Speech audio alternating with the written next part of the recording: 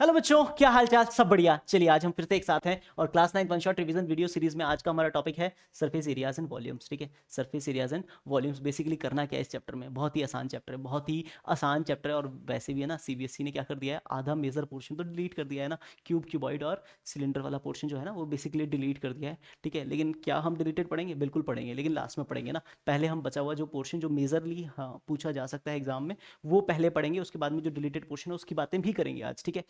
तो पहली बात, कैसे हैं आप लोग? सब बढ़िया हैं?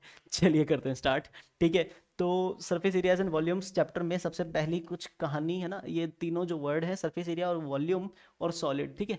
ये तीनों पे एक बार, है ना, इन तीनों के कैरेक्टर स्टैब्लिश कर लेते हैं, क्योंकि बेसिकली कोई भी एक चैप्टर होता है ना तो वो एक तरह से एक स्टोरी होती है ना स्टोरी के कैरेक्टर स्टैब्लिश हो जाएँगे तो चीज़ें आसानी से समझ में आ जाएँगी राइट तो सॉलिड सबसे पहले क्या होता है ना? सॉलिड क्या होता है? Solid basically the body is occupying space ठीक है कॉल्ड सॉलिड ठीक है। स्पेस ऑक्यूपाई करने वाली जितनी भी बॉडी होंगी ना बेसिकली वो क्या है? सॉलिड्स हैं। क्या है? सॉलिड्स हैं, ठीक है। हम क्या, हम भी एक तरह से ना, है ना थ्री में ही एग्जिस्ट करते हैं ना। वैसे एक सर्कल ड्रॉ किया, वो टू प्लेन में हमने ड्रॉ किया। वो कोई स्पेस ऑक्यूपाई नहीं कर रहा ना, वो एरिया ऑक्यूपाई कर रहा है। जो एरिया ऑक्यूपाई करता है, वो सरफेस एरिया ना बेसिकली सरफेस का कोई पार्ट होता है, ठीक है।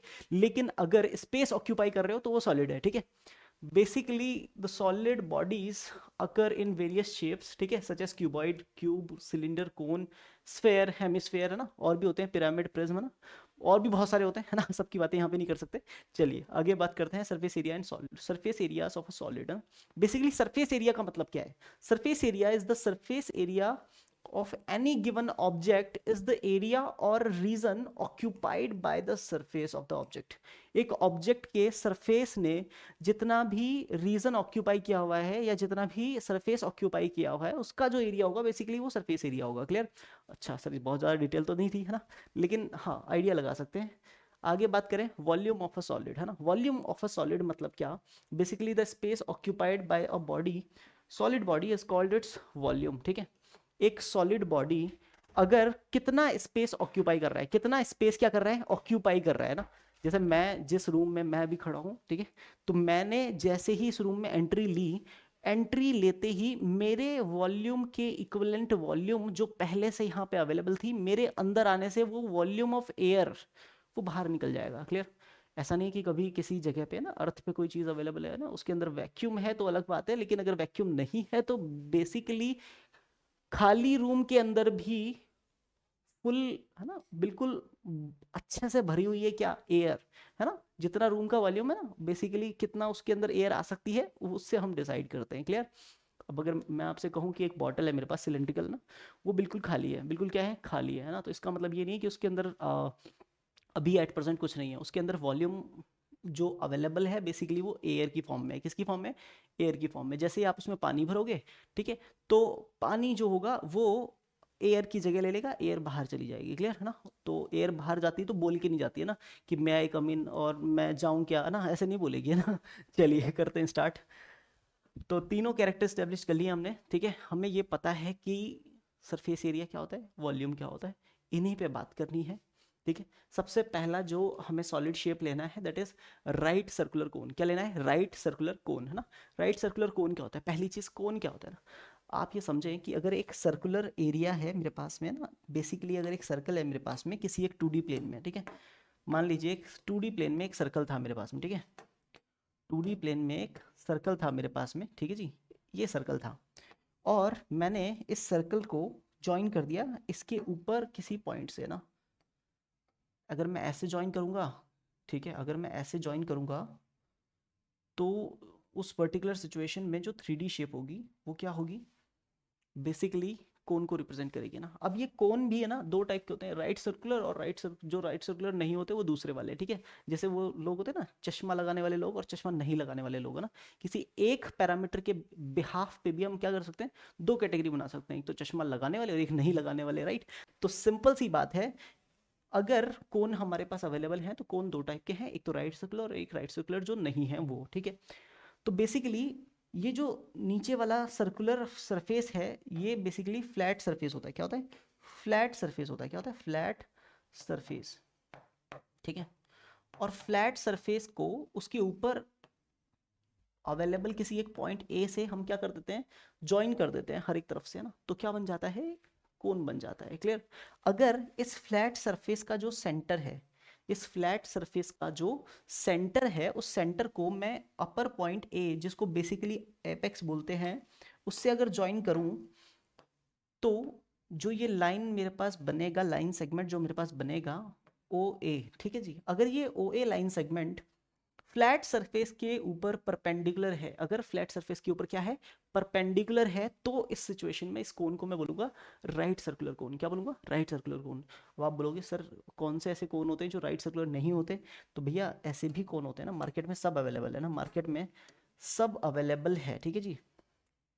अब आप बोलोगे, सर, बता दो एक तो एक एग्ज़ाम्पल बता दीजिए, सर ना? तो बेसिकली ये जो शेप है, जो मैं अभी ड्रॉ कर रहा हूँ, ये भी एक कोन ही है। ये भी क्या है, एक कोन ही है, लेकिन ये राइट सर्कुलर कोन नहीं है। ये राइट सर्कुलर कोन नहीं है, क्योंकि इसके एपेक्स को बेस जो है, उसके सेंटर से ज्वाइन करने वाला लाइन जो है ना, वो परपेंडिकुलर बेस के ऊपर नहीं बना रहा है क्लियर इसलिए ये राइट सर्कुलर कोन नहीं है। और हमें क्या करना है क्लास नाइन्थ में राइट सर्कुलर कोन के ऊपर बात करनी है, यानी हमारे पास जितने भी फॉर्मूले होंगे, वो राइट सर्कुलर कोन के होंगे कोन के नहीं होंगे, है ना? सारे कोन के लिए वो एप्लीकेबल नहीं है, सिर्फ़ राइट सर्कुलर कोन के ऊपर ही एप्लीकेबल है, ठीक है? अच्छा सर आप समझ में आया राइट सर्कुलर कोन क्या होता है ना? पहले तो सोचते थे राइट सर्कुलर कोन ही कौन होता है ना? नहीं नहीं, ऐसा नहीं होता, ठीक है? चलिए तो सॉलिड बेसिकली छोटी छोटी बातें कर रहे हैं हम। डिफरेंस आपको समझ आ गया होगा, एक कोन में और एक राइट सर्कुलर कोन में, ठीक है? The solid generated by rotation of a right angle triangle अगर एक राइट एंगल ट्राइंगल मान लो एक राइट एंगल ट्राइंगल है ए ओ बी कौन सा राइट एंगल ट्राइंगल है? A O B right angle triangle है। उस राइट एंगल ट्राइंगल को हम रोटेट करें। क्या करें? रोटेट करें about one of the sides containing the right angle है ना? राइट एंगल कंटेन करने वाली राइट एंगल कंटेन करने वाली दो साइड होंगी, एक तो परपेंडिकुलर और एक बेस है ना? किसी भी एक साइड के अराउंड अगर हम ट्राइंगल को रोटेट करा दें, क्या करा दें? रोटेट करा दें, है ना? अब आप बोलोगे, सर, अगर हम ए ओ के अलॉन्ग रोटेट करवाएँ, अगर हम ए ओ के अलॉन्ग रोटेट करवाएँ तो कैसे रोटेट करवाएँ? तो ए ओ को के अलॉन्ग अगर आप रोटेट करा रहे हो तो मान लो कि ए और ओ जो है ना, वो फिक्स है, वो कहीं जाने वाले नहीं है। अब आपके पास कौन सा ऐसा पॉइंट है जो मूव कर सकता है? वो है बी पॉइंट है ना? तो बी पॉइंट को पकड़ के ऐसे रोटेट करवाओगे तो बेसिकली वो किस सॉलिड की शेप ले लेगा? जो भी ये बनेगा, वो किस सॉलिड की शेप लेगा? राइट सर्कुलर कोन की शेप ले लेगा, ठीक है? और अगर राइट सर्कुलर कोन की शेप ले लेगा तो क्यों ना हम इसकी छोटी छोटी बातें स्टैब्लिश कर लें फटाफट, ठीक है? तो आप ये समझें पहली बात। इस राइट सर्कुलर कोन में जो नीचे वाला सर्कुलर पोर्शन है, उसकी जो रेडियस होती है, वो बेस रेडियस होती है कोन की। क्या होती है? बेस रेडियस ऑफ़ कोन ठीक है? और ओ ए जो है, वो वर्टिकल हाइट के लिए स्टैंड करता है। किसके लिए स्टैंड करता है? वर्टिकल हाइट कौन सी हाइट वर्टिकल हाइट ठीक है? वर्टिकल हाइट है ना? H stand for vertical height okay. okay. अगर मैं बात करूँ ए बी किसके लिए स्टैंड करता है तो ए बी इज़ एल क्या बोलते हैं इसे? इसको बोलते हैं स्लैंट हाइट क्या बोलते हैं? स्लैंट हाइट है ना? L stand for slant height okay. तो कुछ फॉर्मूलाज हैं। ठीक है? क्योंकि A O B right angle triangle है तो पाइथागोरस थ्योरम तो लगी जाएगी, और पाइथागोरस थ्योरम लग जाएगी तो एल स्क्वायर जो होगा वो किसके इक्वल होगा? H square plus R square के इक्वल होगा। L square equal to H square plus R square है ना? Hypotenuse square equal to perpendicular square plus base square होता है। तो यहाँ पे हाइपोटेन्यूस की जगह पे कौन बैठा है? एल तो एल स्क्वायर किसके इक्वल होता है? H square plus R square के, है ना? तो सबसे पहला फॉर्मुला जो एल का निकल के आएगा slant height of the cone that is equal to L equal to root में H square plus R square clear है ना? ये फॉर्मूले देखो, अब इस चैप्टर में जो फॉर्मुलेज है ना, सारे फॉर्मूले ऐसे नहीं है जो हम प्रूव कर सके, है ना?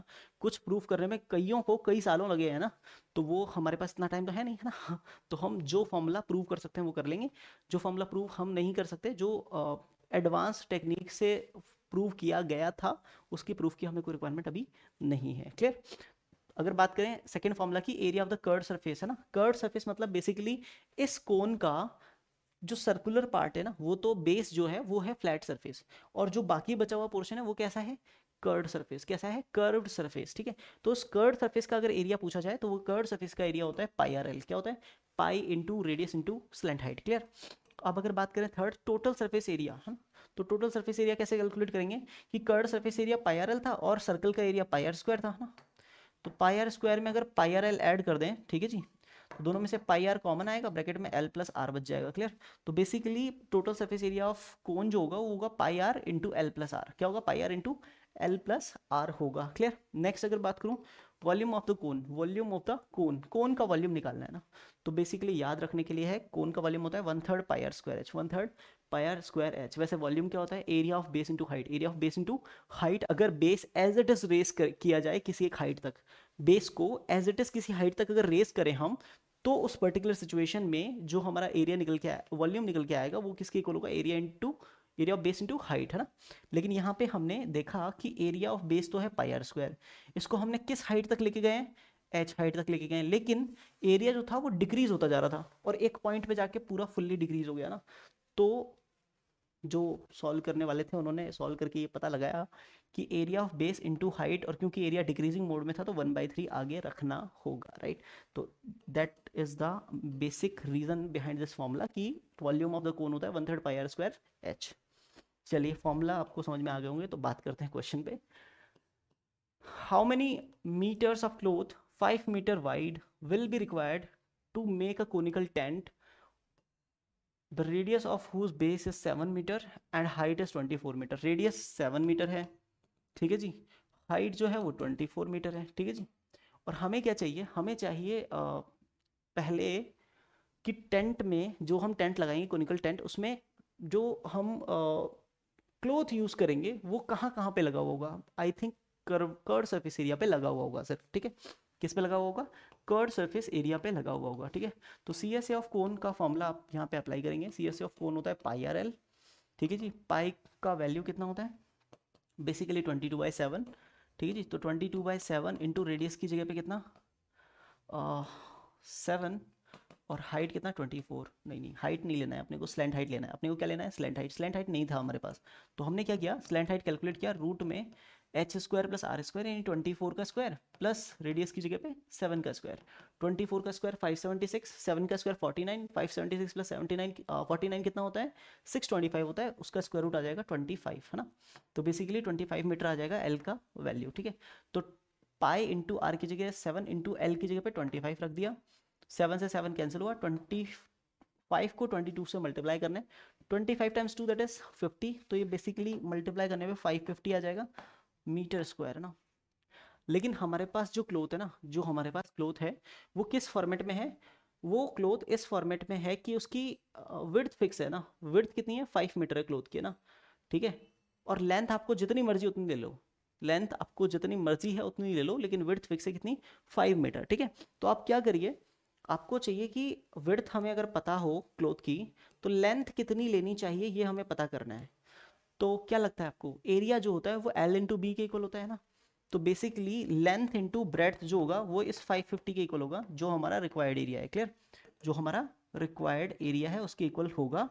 और अगर ऐसा है तो बेसिकली एल की जगह पे हमें कुछ नहीं रखना, और की जगह पे मुझे रखना है five metre that is equal to five fifty तो एल इक्वल टू हो जाएगा बच्चे कितना? फाइव फिफ्टी के अपॉन में कितना? फाइव कैंसिल करोगे कितना आ जाएगा? वन हंड्रेड टेन मीटर है ना? तो हमें जो क्लोथ रिक्वायर्ड है उसकी लेंथ कितनी चाहिए? 110 मीटर्स चाहिए। 110 मीटर्स चाहिए। होप सो ये क्वेश्चन आपको समझ में आया होगा। चलते हैं आगे। नेक्स्ट पॉइंट पे बात करते हैं। The radius and the height of a right circular cone are in the ratio five ratio twelve है ना? तो रेडियस और हाइट का रेशो फाइव रेशो ट्वेल्व है। तो लेट कर लो कि रेडियस कितनी है? फाइव एक्स है और हाइट कितनी है? ट्वेल्व एक्स है। क्लियर तो हमें गिवन है इसका वॉल्यूम कितना है? Two five one two centimetre cube right तो वॉल्यूम का फॉर्मूला क्या होता है? One by three pi R square H that is equal to कितना? टू फाइव वन टू है ना? सॉल्व करके आप किसकी वैल्यू निकाल सकते हो बच्चे? एक्स की वैल्यू निकाल सकते हो। कैसे? One by three as it is pi का वैल्यू पुट करना है ट्वेंटी टू बाई सेवन है ना? अब मान के चलो कि जिस क्वेश्चन में पाई का वैल्यू मैंने यहाँ पे लिखा हुआ नहीं है, वो ट्वेंटी टू बाई सेवन ही लेके चलना है उसमें, ठीक है? तो वन थर्ड पाई की जगह पे twenty two by seven radius का स्क्वायर तो रेडियस कितना है? फाइव एक्स फाइव एक्स का स्क्वायर रखेंगे यहाँ पे तो कितना आ जाएगा? Twenty five X square into H की जगह पे कितना? ट्वेल्व एक्स ठीक है जी that is equal to two five one two ठीक है जी, हमें वैल्यू किसका कैलकुलेट करना है? हमें वैल्यू कैलकुलेट करना है टू फाइव वन टू हमें वैल्यू किसका कैलकुलेट करना है? वैल्यू हमें एक्स का चाहिए। तो एक्स स्क्वायर इंटू एक्स कितना हो गया? एक्स यू बस उसको इधर रखो, बाकी सबको उधर फेंक दो। ठीक है two five one two as it is रहेगा। डिनोमिनेटर में थ्री और सेवन है, वो जाएँगे मल्टीप्लाई में, ठीक है? जो नीचे है वो ऊपर जाएगा, जो ऊपर है वो नीचे आएगा तो ट्वेंटी टू नीचे आएगा, ठीक है? और ट्वेंटी फाइव नीचे आएगा और ट्वेल्व नीचे आएगा क्लियर होप सो यहाँ तक की कहानी समझ में आ गई होगी, ठीक है? अब क्या करेंगे हम? कैंसिलेशन में अगर हम देखें क्या क्या कैंसिल हो सकता है? ठीक है? क्या क्या कैंसिल हो सकता है भाई? सोचो हटाकर सोचते हैं। इलेवन की टेबल से ओके कैंसिलेशन पॉसिबल ही नहीं है। अच्छा देखते हैं देखते हैं देखते हैं। थ्री से फोर टाइम्स कैंसिल किया। फोर से इधर कैंसिल करते हैं। फोर सिक्स ज़ा ट्वेंटी फोर फोर सिक्स ज़ा twenty four remaining one four two ज़ा एट थ्री फोर एट ज़ा थर्टी टू ऐसा? ठीक है। सिक्स ट्वेंटी एट हो गया। अच्छा और किससे कैंसिल होगा? टू से कैंसिल कर दें। टू से कैंसिल कर देते हैं तो ये हो जाएगा थ्री हंड्रेड एंड फोर्टीन अच्छा जी थ्री वन फोर आ गया। थ्री वन फोर क्या लगता है? थ्री वन फोर हाँ तो जिस हिसाब से इसमें कैलकुलेशन है आई थिंक इसमें पाई का वैल्यू थ्री वन फोर रखेंगे तो शायद ज़्यादा अच्छे से सॉल्व होगा ये, ठीक है? पाई का value three point one four रखें तो ज़्यादा सही होगा, ठीक है? बट डोंट वरी आपके पास जो क्वेश्चन आएगा, उसमें पाई का वैल्यू लिखा हुआ आएगा, ठीक है? तो पाई का वैल्यू यहाँ पे अगर हम रखें थ्री पॉइंट वन फोर तो ये क्वेश्चन हमारा बन रहा है क्लियर तो वन थर्ड पाई के प्लेस पे थ्री पॉइंट वन फोर ठीक है जी? Into twenty five X square into twelve X that is equal to two five one two clear अच्छा जी तो फिर हम क्या करेंगे? एक्स क्यूब को इधर रखेंगे, बाकी सबको उधर फेंक देंगे तो two five one two as it is ठीक है? मल्टीप्लाई में जाएगा ये डिनोमिनेटर वाला थ्री ठीक है? ओके और डिवाइड में क्या क्या आएँगे मेरे पास? थ्री पॉइंट वन फोर ठीक है जी? मल्टीप्लाई में ट्वेंटी फाइव और ट्वेल्व ठीक है जी? पॉइंट हटाएँगे, ऊपर हंड्रेड आ जाएगा, ठीक है जी? और ट्वेंटी फाइव वन सा twenty five twenty five four सा हंड्रेड ठीक है? फोर से ट्वेल्व में three times divide four three सा ट्वेल्व थ्री से थ्री उड़ा दिया, ठीक है? थ्री हंड्रेड एंड फोर्टीन से इसमें डिवाइड करेंगे तो एट टाइम्स डिवाइड होगा अकॉर्डिंग टू मी है ना? थ्री एट ज़ा ट्वेंटी फोर फोर्टीन एट ज़ा वन हंड्रेड ट्वेल्व ठीक है? X cube equals to eight आया हमारे पास, ठीक है? एक्स क्यूब एट आएगा तो एक्स का वैल्यू कितना आ जाएगा? एक्स का वैल्यू टू आ जाएगा क्लियर और जैसे ही एक्स का वैल्यू टू आया तो आपको पता लग गया कि जो रेडियस थी ना फाइव एक्स वो हो जाएगी फाइव इंटू टू है ना, फाइव इंटू टू कितना हो जाएगा? टेन। ठीक है जी? और हाइट हो जाएगी मेरे पास ट्वेल्व, एक्स यानी ट्वेल्व इंटू टू कितना हो जाएगा? Twenty four centimetre. और हमें चाहिए कर्ड सरफेस एरिया। कैसा चाहिए? क्या चाहिए? Curved surface area. तो कर्ड सरफेस एरिया क्या होता है? सी एस ए होता है पाई आर एल ठीक है जी? पाई आर एल ठीक है? तो क्योंकि मेरे पास, है ना, स्लेंट हाइट नहीं है तो स्लैंड हाइट कैलकुलेट कर लेते हैं।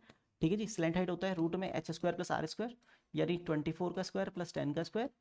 तो क्या लगता है आप लोगों को? ट्वेंटी फोर का स्क्वायर करेंगे कितना आएगा? फाइव सेवेंटी सिक्स टेन का square hundred five seventy six plus hundred कितना हो जाएगा? सिक्स सेवेंटी सिक्स उसका स्क्वायर रूट कितना हो जाएगा? ट्वेंटी सिक्स सेंटीमीटर ठीक है? स्लैंड हाइट मेरे पास आ गया ट्वेंटी सिक्स सेंटीमीटर तो क्या करेंगे? पाई का वैल्यू रखा three point one four into radius के प्लेस पे कितना रखेंगे? टेन और स्लैंड हाइट के प्लेस पे ट्वेंटी सिक्स क्लियर अच्छा जी तो पॉइंट हटा के नीचे हंड्रेड ले आएँगे टेन से एक ज़ीरो हटा देंगे। ओके ट्वेंटी सिक्स की टेबल मुझे तो नहीं आती, फिर भी ट्राई करते हैं। Twenty six times four one zero four होता है। Four as it is ten carry forward twenty six मतलब twenty six and ten that is thirty six six as it is three twenty six three seventy eight and three eighty one तो eight one six four हुआ। Ten divide में था तो point लगा देंगे। इतना centimetre square would be the curved surface area hope आपको ये क्वेश्चन अच्छे से समझ में आ गया होगा। चलिए, आगे बढ़ते हैं नेक्स्ट क्वेश्चन पे। हाँ जी नेक्स्ट क्वेश्चन क्या कहते हैं? A semi circular sheet of diameter 28 centimetre is bent to form a form an open conical cup ठीक है? एक सेमी सर्कुलर शीट है जिसका डायमीटर 28 है ना? ये मान के चलिए आप कि ये एक सेमी सर्कुलर शीट है मेरे पास। सेमी सर्कुलर शीट है, ठीक है? इसका डायमीटर कितना है? 28 सेंटीमीटर ठीक है जी? ओके तो मतलब रेडियस कितना हुआ? रेडियस हो गया 14 सेंटीमीटर क्लियर 14 इधर और 14 इधर क्लियर यहाँ तक की कहानी अगर समझ में आती है तो इसके आगे हम सोचेंगे कि इसको हमने इस टाइप से बैंड किया है कि कॉनिकल कप बन गया। क्या बन गया? कॉनिकल कप तो देखो क्या करेंगे हम? ये जो पॉइंट है ना ओ पॉइंट है ना, ये ओ पॉइंट तो रह गया नीचे। ओ पॉइंट कहाँ रह गया? नीचे रह गया ना। इसका ये ओ ए वाला हिस्सा और ओ बी वाला हिस्सा, इन दोनों को ना हमने टच करा दिया एक दूसरे के। क्या करा दिया? टच करा दिया ना। जैसे टच कराएँगे ना तो आपको ये समझ में आएगा कि ये ओ ए और ओ बी वाला पोर्शन कुछ इस टाइप से आ गया और ये ऐसा कोनिकल कप बन गया। क्लियर क्या बन गया? कोनिकल कप बन गया। क्लियर होप सो मैं आपको समझा पाया। ठीक है? ये ए और बी पॉइंट दोनों यहीं पे आ गए ना। टच हो गए। क्लियर अब इसमें पूरे प्रकरण में हुआ क्या है? ये जो ओए है ना बेसिकली ये ओ ये लेंथ है ना फोर्टीन बेसिकली ओ ए किसका काम कर रहा है? स्लैंट हाइट का काम कर रहा है। किसका काम कर रहा है? स्लैंट हाइट का काम कर रहा है। और जो इस सेमी सर्कुलर आर्क की लेंथ थी, वो आगे चल के सरकमफेरेंस बन जाएगी बेस की। किसकी? कोन की, ठीक है? तो समझने वाली बात सिर्फ़ इतनी सी है कि हमारे पास जो ये कोन बना है, इसकी स्लैंट हाइट 14 है, ठीक है? और अगर इस कोन की रेडियस को मैं आर यूनिट बोल दूँ, अगर रेडियस कितना बोल दूँ? आर यूनिट तो कोन के लिए जो टू पाई आर होगा वो बेसिकली इस आर्क की लेंथ होगी। आपको पता है सेमी सर्कुलर आर्क की लेंथ कितनी होती है? सेमी सर्कल यानी आप ये समझो, अगर सर्कल का सरकमफरेंस पूछा जाता तो कितना होता? टू पाई आर कितना होता? टू पाई आर होता, ठीक है? अगर मैं सेमी सर्कल में इस आर्क की लेंथ पूछूँगा तो वो टू पाई आर का हाफ़ होगा। कितना होगा? पाई आर होगा। पाई तो एज इट इज़ ठीक है? रेडियस की जगह पे कितना लेना है? फोर्टीन ठीक है? तो बेसिकली जो कोन के लिए टू पाई आर है, वो सेमी सर्कुलर शीट के लिए पाई आर होगा, जिसमें रेडियस कितना है? फोर्टीन है, ठीक है? तो अगर पाई से आप पाई कैंसिल कर भी दो तो टू आर अगर फोर्टीन है तो हमारे पास कोन की रेडियस कितनी निकल के आएगी? फोर्टीन अपॉइंट टू यानी कितना? सेवन सेंटीमीटर क्लियर और जैसे ही रेडियस आ गई और स्लैंट हाइट आ गई, मुझे चाहिए कैपेसिटी कैपेसिटी चाहिए मतलब वॉल्यूम और बेसिकली वॉल्यूम निकालने का तरीका क्या होता है? One third pi r square h यहाँ पे मुझे यूज़ करना है क्या? हाइट एच यूज़ करना है। एच यूज़ करना है इसका मतलब मेरे पास हाइट की वैल्यू नहीं है। लेंथ मतलब स्लैंट हाइट है एल है मेरे पास आर है मेरे पास एच नहीं है। तो क्या करेंगे? L is equal to root of h square plus r square जो फॉर्मूला होता है वैल्यू पुट कर देते, दोनों साइड का स्क्वायर कर देते तो l square equal to h square plus r square होता है, ये आप जानते हैं। क्या लगता है? एल की जगह पे कितना वैल्यू पुट करें? एल की जगह पे पुट कर देते हैं फोर्टीन तो फोर्टीन का square that is equal to h के प्लेस पे कितना रखेंगे? एच तो कैलकुलेट करना है आर के प्लेस पे कितना रखेंगे? सेवन तो सेवन का स्क्वायर फोर्टीन का स्क्वायर कितना होगा बच्चे? वन नाइनटी सिक्स, ठीक है? सेवन का स्क्वायर, फोर्टी नाइन इधर भेजेंगे, minus forty nine that is to h square तो बेसिकली बचेगा one forty seven that is to h square तो एच का वैल्यू निकल के आ जाएगा मेरे पास सेवन रूट ऑफ़ थ्री है ना? फोर्टी नाइन टाइम्स थ्री है ना? यहाँ तक तो कोई प्रॉब्लम होनी ही नहीं चाहिए। चलिए आगे बढ़ते हैं ना? इसके बाद वॉल्यूम कैलकुलेट करेंगे। तो वन बाई थ्री पाई के प्लेस पे कितनी वैल्यू रखेंगे? पाई के प्लेस पे हम वैल्यू रखेंगे ट्वेंटी टू बाई सेवन क्योंकि सेवन का मल्टीपल है रेडियस इंटू रेडियस का स्क्वायर यानी seven into seven into h के प्लेस पे कितना रखें? एच के प्लेस पे कितना रखें? एच के प्लेस पे हम रखेंगे seven root of three clear अब क्या करेंगे? सेवन से सेवन हो जाएगा कैंसिल और ट्वेंटी टू को सेवन से मल्टीप्लाई किया वन फिफ्टी फोर आया। वन फिफ्टी फोर को सेवन से मल्टीप्लाई करेंगे तो कितना आएगा? सेवन सेवन सा forty nine four seven five thirty five and four thirty nine, three seven one seven and three ten. ठीक है, इतना ही होगा? नहीं, कुछ ज़्यादा होगा ना।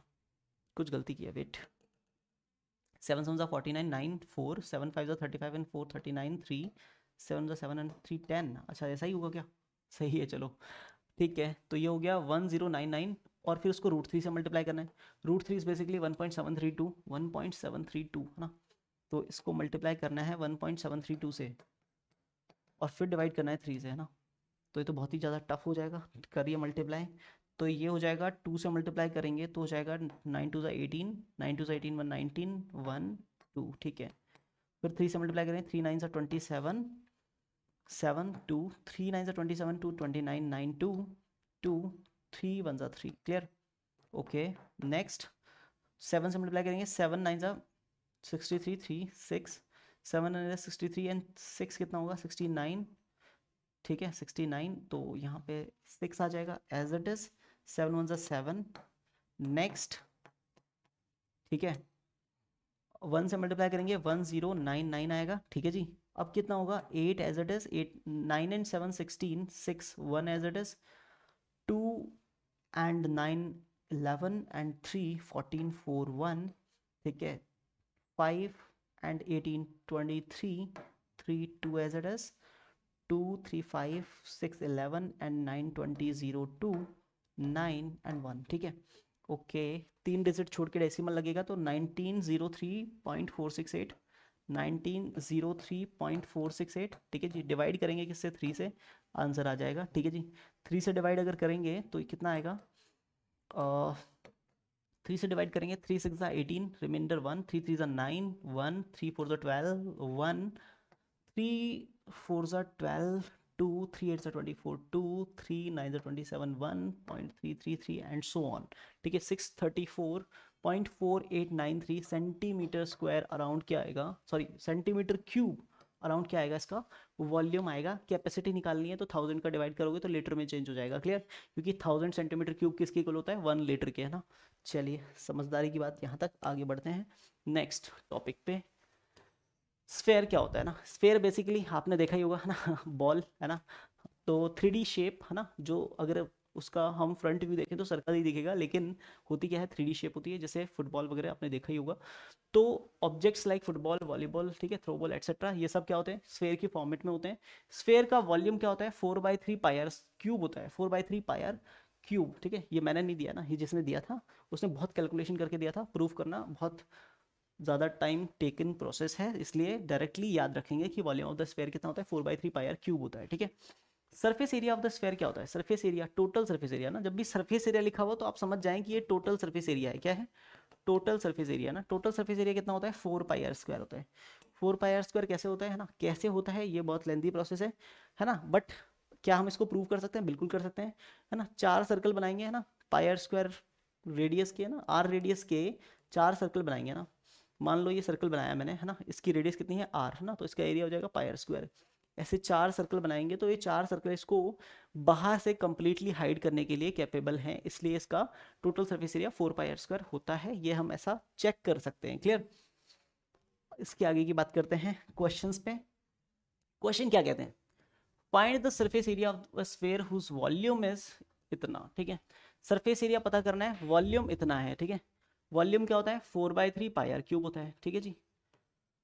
Four by three pi r cube volume होता है, ठीक है? और वो वॉल्यूम किसके इक्वल है? फोर एट फाइव वन के इक्वल है, ठीक है जी?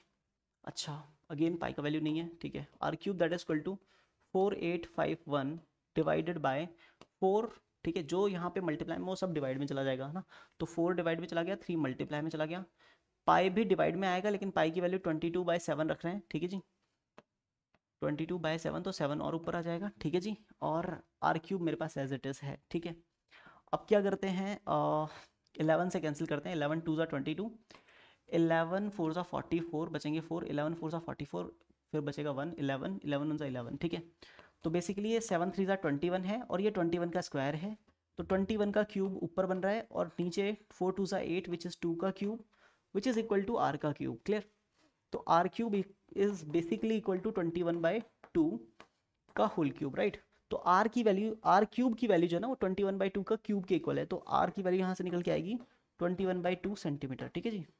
कोशिश करें कि इसको डिवाइड करके डेसिमल्स में ना ले जाए ना। जब हमें यहाँ पे क्यूब रिजॉल्व करना है तो कोशिश करें इसको फ्रैक्शन में ही रखें ना, ठीक है? तो twenty one by two centimetre मेरे पास यहाँ पे वैल्यू आ गया है रेडियस का। किसका वैल्यू आ गया है? रेडियस का। मुझे क्या चाहिए था? सरफेस एरिया ना। तो बेसिकली ये बात कर रहा है टोटल सरफेस एरिया की, ठीक है? तो टोटल सरफेस एरिया हो जाएगा फोर पाई आर स्क्वायर ठीक है जी? तो फोर पाई स्क्वायर मतलब फोर इंटू पाई की जगह twenty two by seven into radius की जगह पे twenty one by two, twenty one by two. ठीक है जी? इसको सॉल्व करना ज़्यादा टफ टास्क नहीं है। टू से डिवाइड करेंगे फोर को टू टाइम्स टू से टू कैंसिल सेवन, थ्री सा ट्वेंटी वन। ट्वेंटी वन को ट्वेंटी टू से मल्टीप्लाई करेंगे, क्या लगता है, क्या आएगा? फोर सिक्सटी टू आएगा? चेक कर लेते हैं। ट्वेंटी वन टू सा या फिर काम करते हैं, और भी बढ़िया करते हैं ना। मल्टीप्लिकेशन का तरीका एक और देख लेते हैं। ट्वेंटी वन थ्री कितना हुआ? सिक्सटी थ्री है ना? सिक्सटी थ्री आ गया। अब आप एक काम और करो, ट्वेंटी टू को ना ब्रेक कर लो। ट्वेंटी टू को ब्रेक कर लो, टू इंटू इलेवन में ना। टू इंटू इलेवन में, ठीक है? टू को सिक्सटी थ्री से और मल्टीप्लाई कर लो तो वन ट्वेंटी सिक्स हो गया। अब वन ट्वेंटी सिक्स को आपको इलेवन से मल्टीप्लाई करना है, ठीक है? और किसी भी नंबर को इलेवन से मल्टीप्लाई करना मतलब बहुत ईजी है ना? पहले वन टू सिक्स लिख लो, फिर थोड़ा सा एक प्लेस लास्ट से मिस करते हुए सिक्स टू वन, एक बार फिर से वन ट्वेंटी सिक्स लिख लो ऐड कर लो। सिक्स, एट, थ्री, वन, है ना? वन थ्री, एट, सिक्स आ जाएगा मेरे पास। Surface area of sphere clear hope so समझ में आ गई हुई कहानी यहाँ तक। चलिए आगे बढ़ते हैं ना। इसके बाद नेक्स्ट क्या कहता है question on increasing the radius of a sphere by ten percent find the percentage increase in its volume है ना? दो तरीके देखेंगे इसके, है ना? पहला तरीका, अगर मान लो केस वन की बात करूँ स्टार्टिंग में क्या था? रेडियस थी आर रेडियस कितनी थी? आर और वॉल्यूम था स्फेयर का कितना? Four by three pi r cube ठीक है? लेकिन बाद में पता है क्या हुआ? बाद में रेडियस को टेन परसेंट इंक्रीज कर दिया। बाद में रेडियस को टेन परसेंट इंक्रीज कर दिया, ठीक है? तो जब रेडियस को टेन परसेंट इंक्रीज करेंगे तो केस टू बन जाएगा। केस टू बन जाएगा। केस टू में रेडियस कितनी आ जाएगी? पहले वाली रेडियस प्लस उसी का टेन परसेंट और। तो टेन परसेंट ऑफ़ आर उसमें ऐड हो जाएगा। क्लियर तो समझने वाली बात क्या है? R plus ten percent of r का मतलब है ten upon hundred into r ठीक है जी? ज़ीरो से ज़ीरो कैंसिल हो जाएगा। ठीक है? तो r plus r by ten LCM लेंगे तो हो जाएगा ten r plus r eleven r by ten हो जाएगा clear basically radius new radius ना? ये हो जाएगा न्यू रेडियस और न्यू रेडियस जैसे इलेवन आर बाई टेन हुआ, आप इसको और भी अच्छा सोचो तो ये वन पॉइंट वन आर हो गया। क्या हो गया? वन पॉइंट वन आर हो गया, ठीक है? तो अगर आपसे न्यू वॉल्यूम मांगा जाएगा न्यू वॉल्यूम कितना है?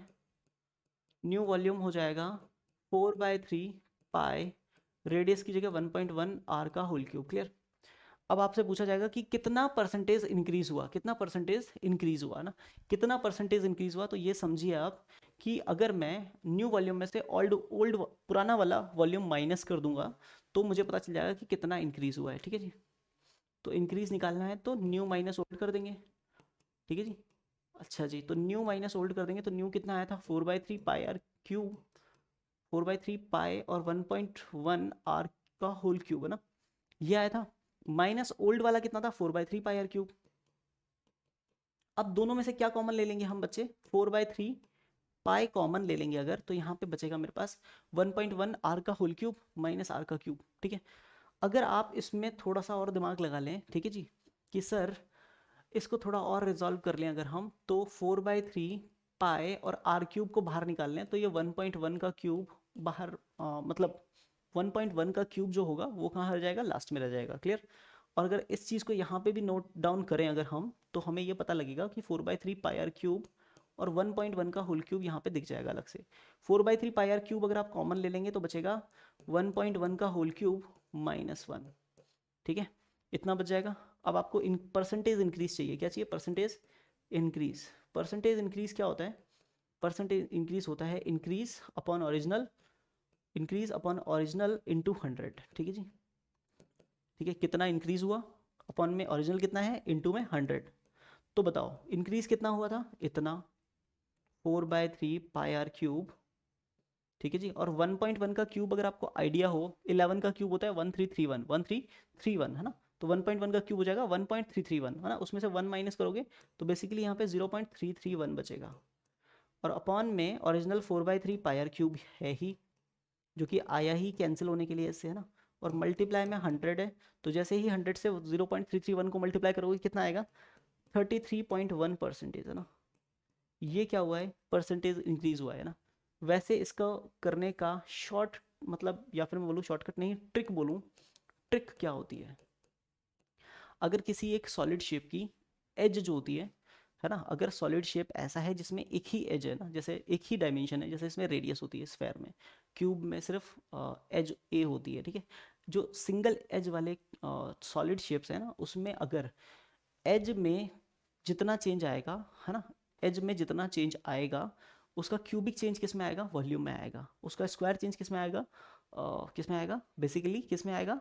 सरफेस एरिया में आएगा। क्लियर अब आप सोचेंगे, सर, इसको कैसे अप्लाई करें? पहले रेडियस आर थी, है ना? बाद में हो गई कितनी? वन पॉइंट वन आर ठीक है जी? वन पॉइंट वन आर हो गई, ठीक है? तो रेडियस आर होती है तो वॉल्यूम में रेडियस का क्यूब होता है ना? वॉल्यूम में क्या होता है? क्यूब हो जाता है रेडियस का, है ना? तो कहीं ना कहीं वॉल्यूम निकल के आता है four by three pi r cube है ना? अगर 1.1 आर रहेगी रेडियस तो उसका क्यूब करेंगे तो बेसिकली यहाँ पे निकल के आएगा four by three pi r cube ठीक है जी? और 1.1 का क्यूब 1.331 ठीक है जी? तो यहाँ से 1.331 जो हमें दिखेगा 1.331 जो हमें दिखेगा, ये 1.331 में से अगर हम इस वॉल्यूम में अगर मल्टीप्लाई में वन लेके चलते हैं तो 1.331 में से अगर वन लेस कर दें तो बचेगा 0.331 जो हमें बताएगा कि 33.1 परसेंटेज क्या है, वॉल्यूम में चेंज आएगा। ठीक है? समझ आए तो बहुत बढ़िया, नहीं तो लॉन्ग मेथड भी अच्छा ही है। ठीक है? चलिए आगे बढ़ते हैं। ठीक है? हेमिस्फेयर क्या होता है ना? बेसिकली अगर हम किसी एक प्लेन के थ्रू सेंटर ऑफ़ स्फेयर को कट कर दें है ना? किसी एक प्लेन से स्फेयर को कट कर दें उसके सेंटर से होते हुए ना? सेंटर से होते हुए उसको कट कर दें तो जो दो, दो पार्ट बनेंगे ना each of the part is called a hemisphere हर एक पार्ट को हेमिस्फेयर बोलेंगे।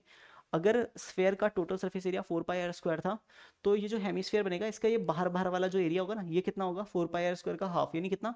Two pi r square basically उसको बोलते हैं curved surface area of hemisphere तो क्या सर हेमिस्फेयर में फ्लैट सरफेस एरिया भी होता है, बिल्कुल होता है। जैसे ही काटोगे तो ये ऊपर वाला जो सर्कल बनेगा ना, ये तो फ्लैट ही होगा। ये ऊपर वाला जो सर्कल बन रहा है, ये क्या होगा? फ्लैट होगा ना। ये वाला सरफेस क्या होगा? फ्लैट सरफेस होगा ना। और ये सर्कुलर है तो इसका एरिया भी कितना होगा? पायर स्क्वायर तो flat surface area pi r square curved surface area two pi r square तो total surface area of hemisphere जो होगा वो कितना हो जाएगा? थ्री पायर स्क्वायर हो जाएगा। कितना हो जाएगा? थ्री पायर स्क्वायर हो जाएगा। और वॉल्यूम क्या होगा हेमिस्फीयर का? जो स्फेयर का वॉल्यूम था four by three pi r cube उसका जस्ट हाफ़ यानी कितना? Volume of hemisphere two by three pi r cube है ना? कितना होगा? Two by three pi r cube चलिए, आगे बढ़ते हैं नेक्स्ट पॉइंट पे बात करते हैं। क्वेश्चन क्या कहते हैं? Find the volume curved surface area and total surface area of a hemisphere of diameter seven centimetre है ना? तो क्या करेंगे? पहले वॉल्यूम कैलकुलेट कर लेते हैं। वॉल्यूम होता है two by three pi r cube two by three pi r cube तो हो जाएगा यहाँ पे टू बाई थ्री ठीक है जी? पाई की जगह ट्वेंटी टू बाई सेवन और रेडियस की जगह पे, क्योंकि डायमीटर सेवन सेंटीमीटर है तो रेडियस कितने निकल के आएगी हमारे पास में? रेडियस निकल के आएगी सेवन बाई टू ना। यहाँ से पता चल जाएगा कि रेडियस कितना है? सेवन बाई टू है। तो सेवन बाई टू पुट करेंगे seven by two into seven by two into seven by two ठीक है? क्यूब है तो थ्री टाइम्स लिख दिया क्लियर ओके नाउ टू से टू कैंसिल टू से ट्वेंटी टू को इलेवन टाइम्स कैंसिल सेवन से सेवन कैंसिल और कोई कैंसिल हो रहा है? चाहता ही नहीं है कोई कैंसिल होना। सेवन सेवन का कितना हुआ? फोर्टी नाइन फोर्टी नाइन को इलेवन से मल्टीप्लाई करेंगे तो फोर्टी नाइन को स्पेसिंग करके ऐड करेंगे तो नाइन नाइन प्लस फोर कितना होगा? थर्टीन थ्री वन फाइव है ना? फाइव थर्टी नाइन हो जाएगा। डिवाइडेड बाई कितना आएगा? सिक्स आएगा ना? सिक्स से डिवाइड कर लेंगे तो सिक्स एट ज़ा फोर्टी एट बचेंगे फाइव सिक्स नाइन ज़ा fifty four over four by six है ना? ऐसा कुछ सेंटीमीटर क्यूब वॉल्यूम हो जाएगा, ठीक है जी?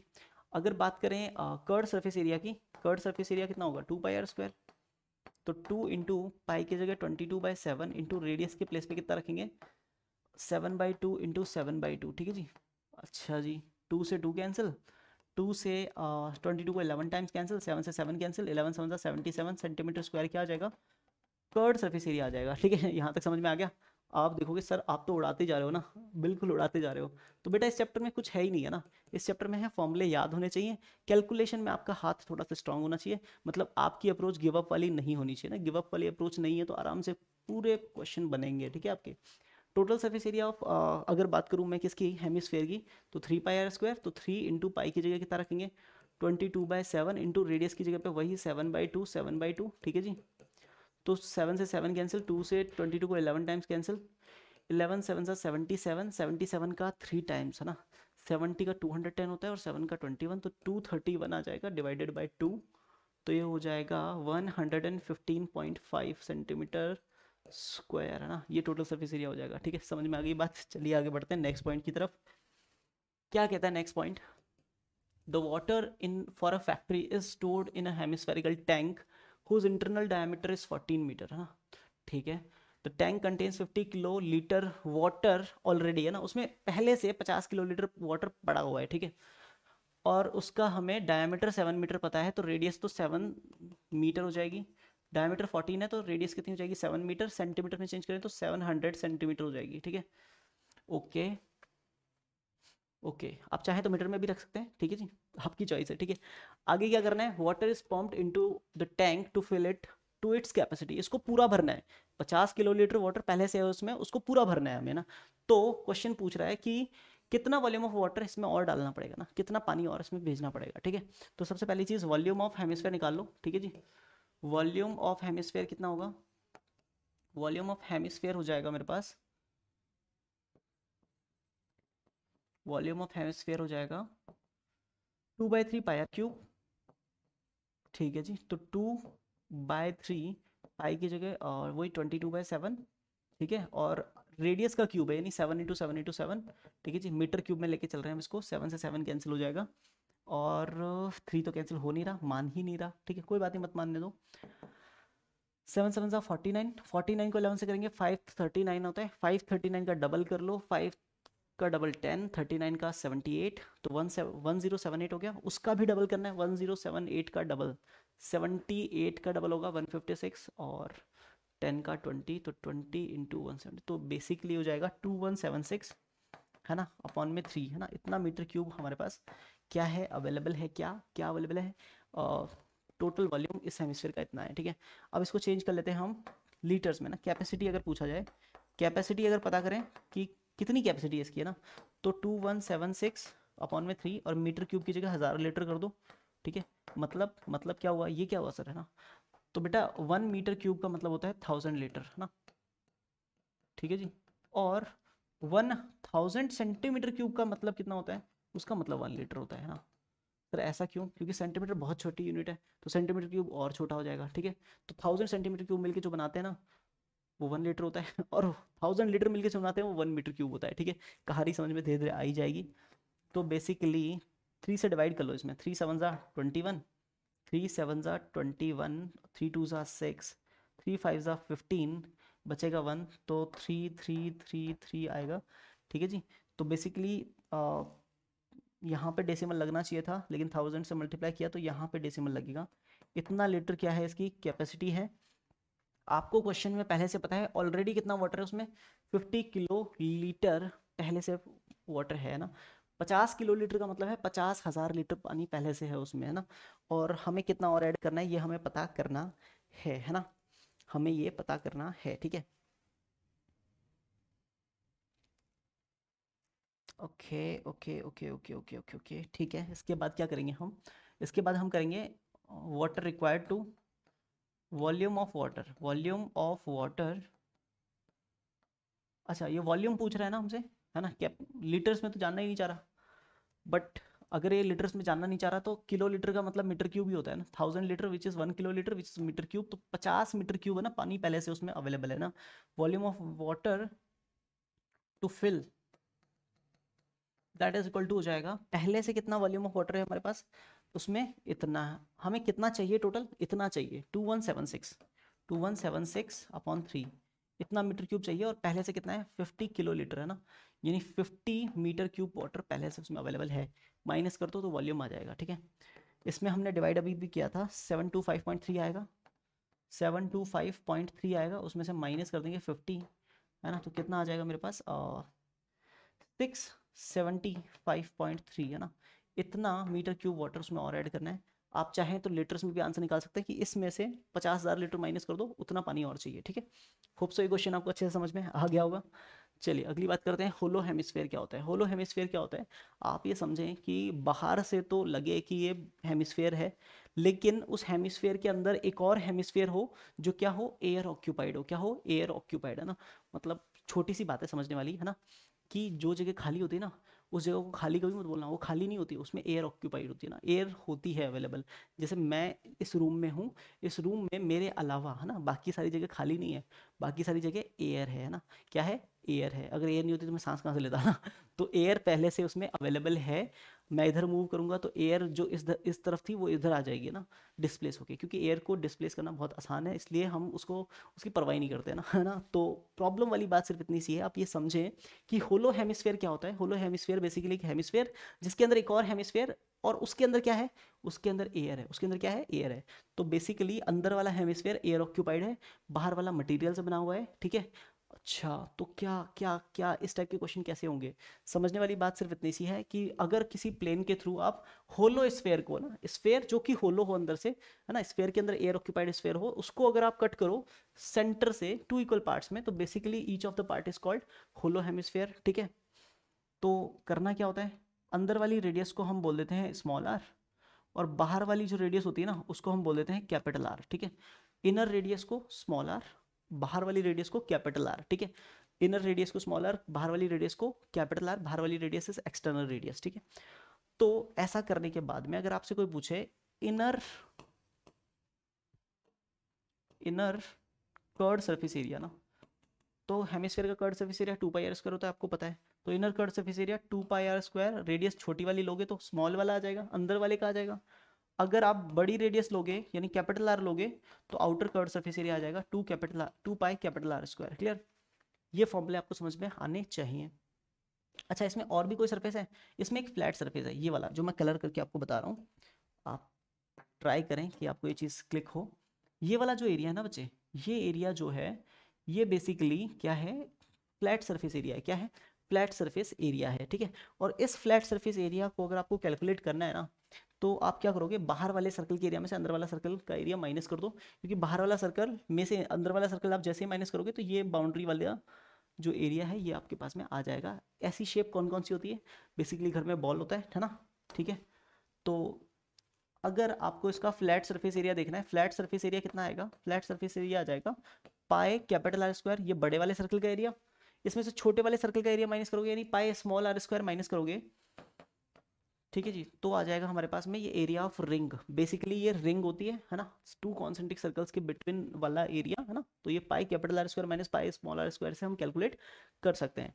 अगर मुझसे कोई पूछेगा curved surface area of the hollow hemisphere hollow hemisphere का कर्ड सर्फेस एरिया पूछेगा तो बाहर वाला कर्ड सर्फेस एरिया प्लस अंदर वाला कर्ड सर्फेस एरिया दोनों में क्या कर दूँगा? ऐड कर दूँगा क्लियर लेकिन अगर मुझसे कोई पूछेगा total surface area of the hollow hemisphere तो मैं क्या करूँगा? Inner curved surface area, outer curved surface area और फ्लैट सरफेस एरिया। तीनों को क्या कर दूँगा? ऐड कर दूँगा। आप सोचो आप। Two pi capital R square और one pi capital R square दोनों पॉजिटिव हैं, ये दोनों तो ऐड हो जाएँगे। तो आ जाएगा three pi capital R square, ठीक है? और two pi small r square plus का है और one pi small r square minus का है। तो ये दोनों चेंज होके क्या हो जाएगा? One pi r square plus का बच जाएगा, क्लियर? तो आपको ये समझ में आए कि three pi capital R square plus pi small r square, ये क्या हो जाएगा? Total surface area of hollow hemisphere हो जाएगा। ठीक है? अगर बात करें volume of the material used in hollow hemisphere अगर आपसे कोई पूछे कि इस हेमिस्फेयर होलो हेमिस्फेयर को बनाने में जो मटेरियल यूज़ हुआ है, उसका वॉल्यूम क्या होगा? तो आप क्या करिए? बाहर वाले हेमिस्फेयर का वॉल्यूम निकाल लीजिए which is two by three pi capital R cube ठीक है? उसमें से आप अंदर वाले हेमिस्फेयर का वॉल्यूम इसलिए माइनस कर दीजिए क्योंकि उसमें कोई मटेरियल यूज़ ही नहीं हुआ, उसमें यूज़ हुआ है एयर क्योंकि वो एयर ऑक्यूपाइड है, उसमें मटेरियल नहीं लगाया, उसमें एयर लगी हुई है ना। तो एयर ऑक्यूपाइड जो चीज़ है, उसका वॉल्यूम थोड़ी काउंट करोगे आप ना। तो two by two by three pi r cube आपने क्या कर दिया, इसमें से माइनस कर दिया। दोनों में से कॉमन लिया टू बाय थ्री पाई तो ब्रैकेट में बच जाएगा capital R cube minus small r cube आपको ये समझ में आता है तो बहुत ही बढ़िया। चलिए आगे बढ़ते हैं नेक्स्ट पॉइंट पे बात करते हैं।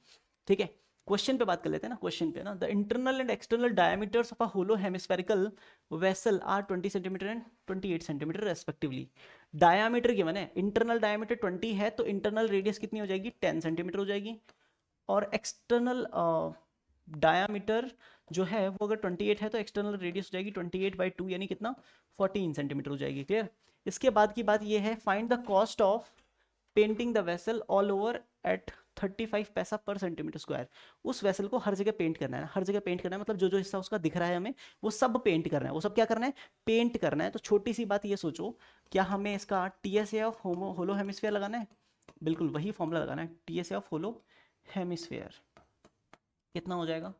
समझने वाली बात सिर्फ़ इतनी सी है कि होलो हेमिस्फेयर का टोटल सर्फिस एरिया होता है three pi capital R square ठीक है जी? Three pi capital R square plus pi small r square है ना? अभी थोड़ी देर पहले बताया था।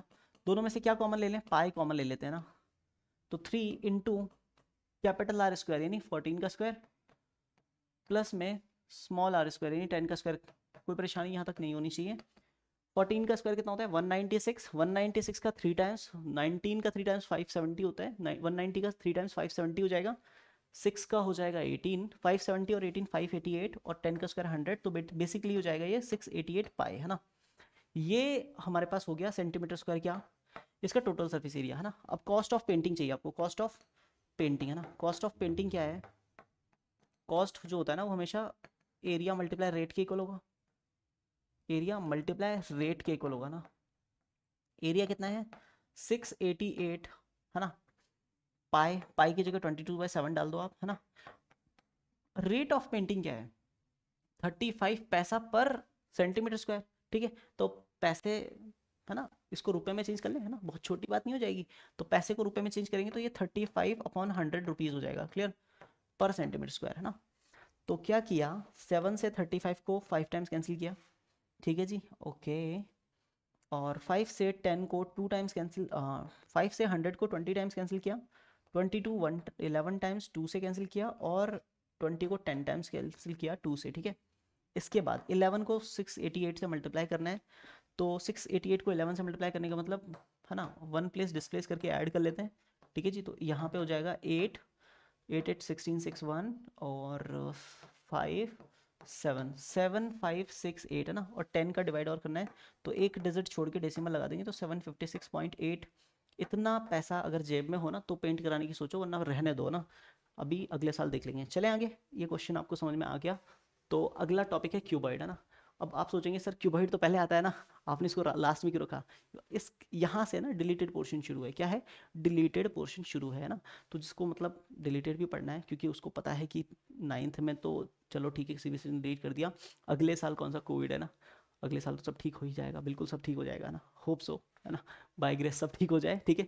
तो उसके बाद क्या करना है? उसके बाद तो पूरा पढ़ना ही है। टेंथ क्लास का पूरा सिलेबस वहाँ पे तो क्यूब और क्यूबॉइड और सिलेंडर तीनों आपका वेट कर रहे होंगे ना, कि ये नाइन्थ में नहीं पढ़ के आया, है ना? आप देखते हैं इसको ना। तो हम तो पढ़ के चलेंगे। चले बात करते हैं क्यूबॉइड की ना। A solid bounded by six rectangular faces is called cuboid है ना? एक सिक्स रेक्टेंगुलर फेसेस से, है ना इनक्लोज जो, है ना, एक सॉलिड होगा that is basically called a cuboid ठीक है? खास बात क्या होता है? एग्ज़ाम्पल देख लो आप। Match box chalk box brick tile book ये सब क्या है? क्यूबॉइड है। क्यूबॉइड में सिक्स रेक्टेंगुलर फेसेस हैं, है ना? ट्वेल्व उसके अंदर एजेस हैं, ठीक है? और एट वर्टिसेस हैं। एट क्या है? वर्टिसेस हैं। क्लियर अब आप समझें कि अगर क्यूबॉइड की डायमेंशन की बात करूँ, अगर ये डायमेंशन एल है, ये डायमेंशन अगर ब्रेथ है और थर्ड वाली ये डायमेंशन कितनी है? हाइट है। तो बेसिकली आपको पता है, छह जो रेक्टेंगुलर फेसेस होंगे, उनमें से दो रेक्टेंगुलर फेसेस ऐसे होंगे जो, है ना, बिल्कुल हमेशा कॉन्ग्रेंट होंगे ना।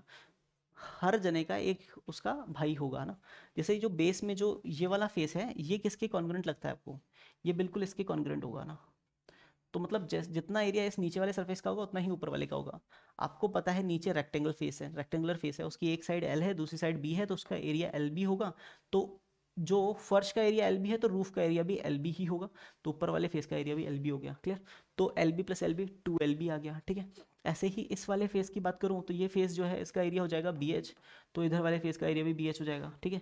ऐसे ही फ्रंट फेस का अगर मैं बात करूँ तो उसमें एक साइड तो एल है, एक साइड एच है तो इसका एरिया एल एच तो पीछे वाले का भी एल एच तो दोनों को ऐड करेंगे तो टू एल एच तो सिंपल सी बात है total surface area of cuboid जो होता है, वो होता है two times L B plus B H plus L H two times L B plus B H plus L H होता है। अगर बात करें lateral surface area of a cuboid की तो लेटरल सरफेस एरिया में हम फर्श और रूफ को काउंट नहीं करते हैं, सिर्फ़ चार दीवारों का एरिया कैलकुलेट करते हैं, चार दीवारों का एरिया कैलकुलेट करते हैं। तो अगर फर्श और रूफ यानी एल बी और एल बी ये दोनों को हटा दें तो अगर मेरे पास सिर्फ़ टू बी एच और टू एल एच होता तो दोनों में से मैं टू और एच कॉमन लेता, ठीक है जी, और ब्रैकेट में बी प्लस एल बच जाता ना। तो मैं लिख देता कि lateral surface area of cuboid होता है two times L plus B into में कितना एच ठीक है? अगर बात करें वॉल्यूम ऑफ़ द क्यूबाइड की तो वॉल्यूम ऑफ़ क्यूबाइड होता है L into B into H क्या होता है? L into B into H मतलब कैसे? बेस का एरिया कितना है? एल इंटू बी और उसी बेस को हमने एच हाइट तक रेस किया है। उसी बेस को हमने एच हाइट तक कहाँ किया है? रेस किया है। तो सिंपल सी बात है एल बी ही एच हाइट तक रेस होगा। Area of base into height is the formula of volume तो एल बी इंटू कितना करेंगे? हाइट एच तो L into B into H basically the volume of cuboid आगे बात करेंगे डायगनल की डायगनल ऑफ़ क्यूबाइड क्या होता है? तो समझें आप डायगनल ऑफ़ क्यूबाइड क्या होता है? डायगनल ऑफ़ क्यूबाइड बेसिकली आप ये समझें कि किसी एक क्यूबाइडल रूम में हम जो मैक्सिमम लेंथ रॉड रख सकते हैं ना, जो मैक्सिमम लेंथ की रॉड हम किसी एक क्यूबाइडल रूम में कैसे रख सकते हैं? अगर मैं आपसे कहूँ कि ये जो पॉइंट है, ये पॉइंट ए है, ठीक है? अगर मैं यहाँ से यहाँ तक रखूँगा, वो मैक्सिमम लेंथ रॉड होगी, या यहाँ से यहाँ तक रखूँगा, वो मैक्सिमम लेंथ रॉड होगी। तो बेसिकली आप बोलेंगे ए से आप सर बी तक रखेंगे, वो मैक्सिमम लेंथ वाली रॉड होगी, ठीक है? उसकी लेंथ कैसे कैलकुलेट करें?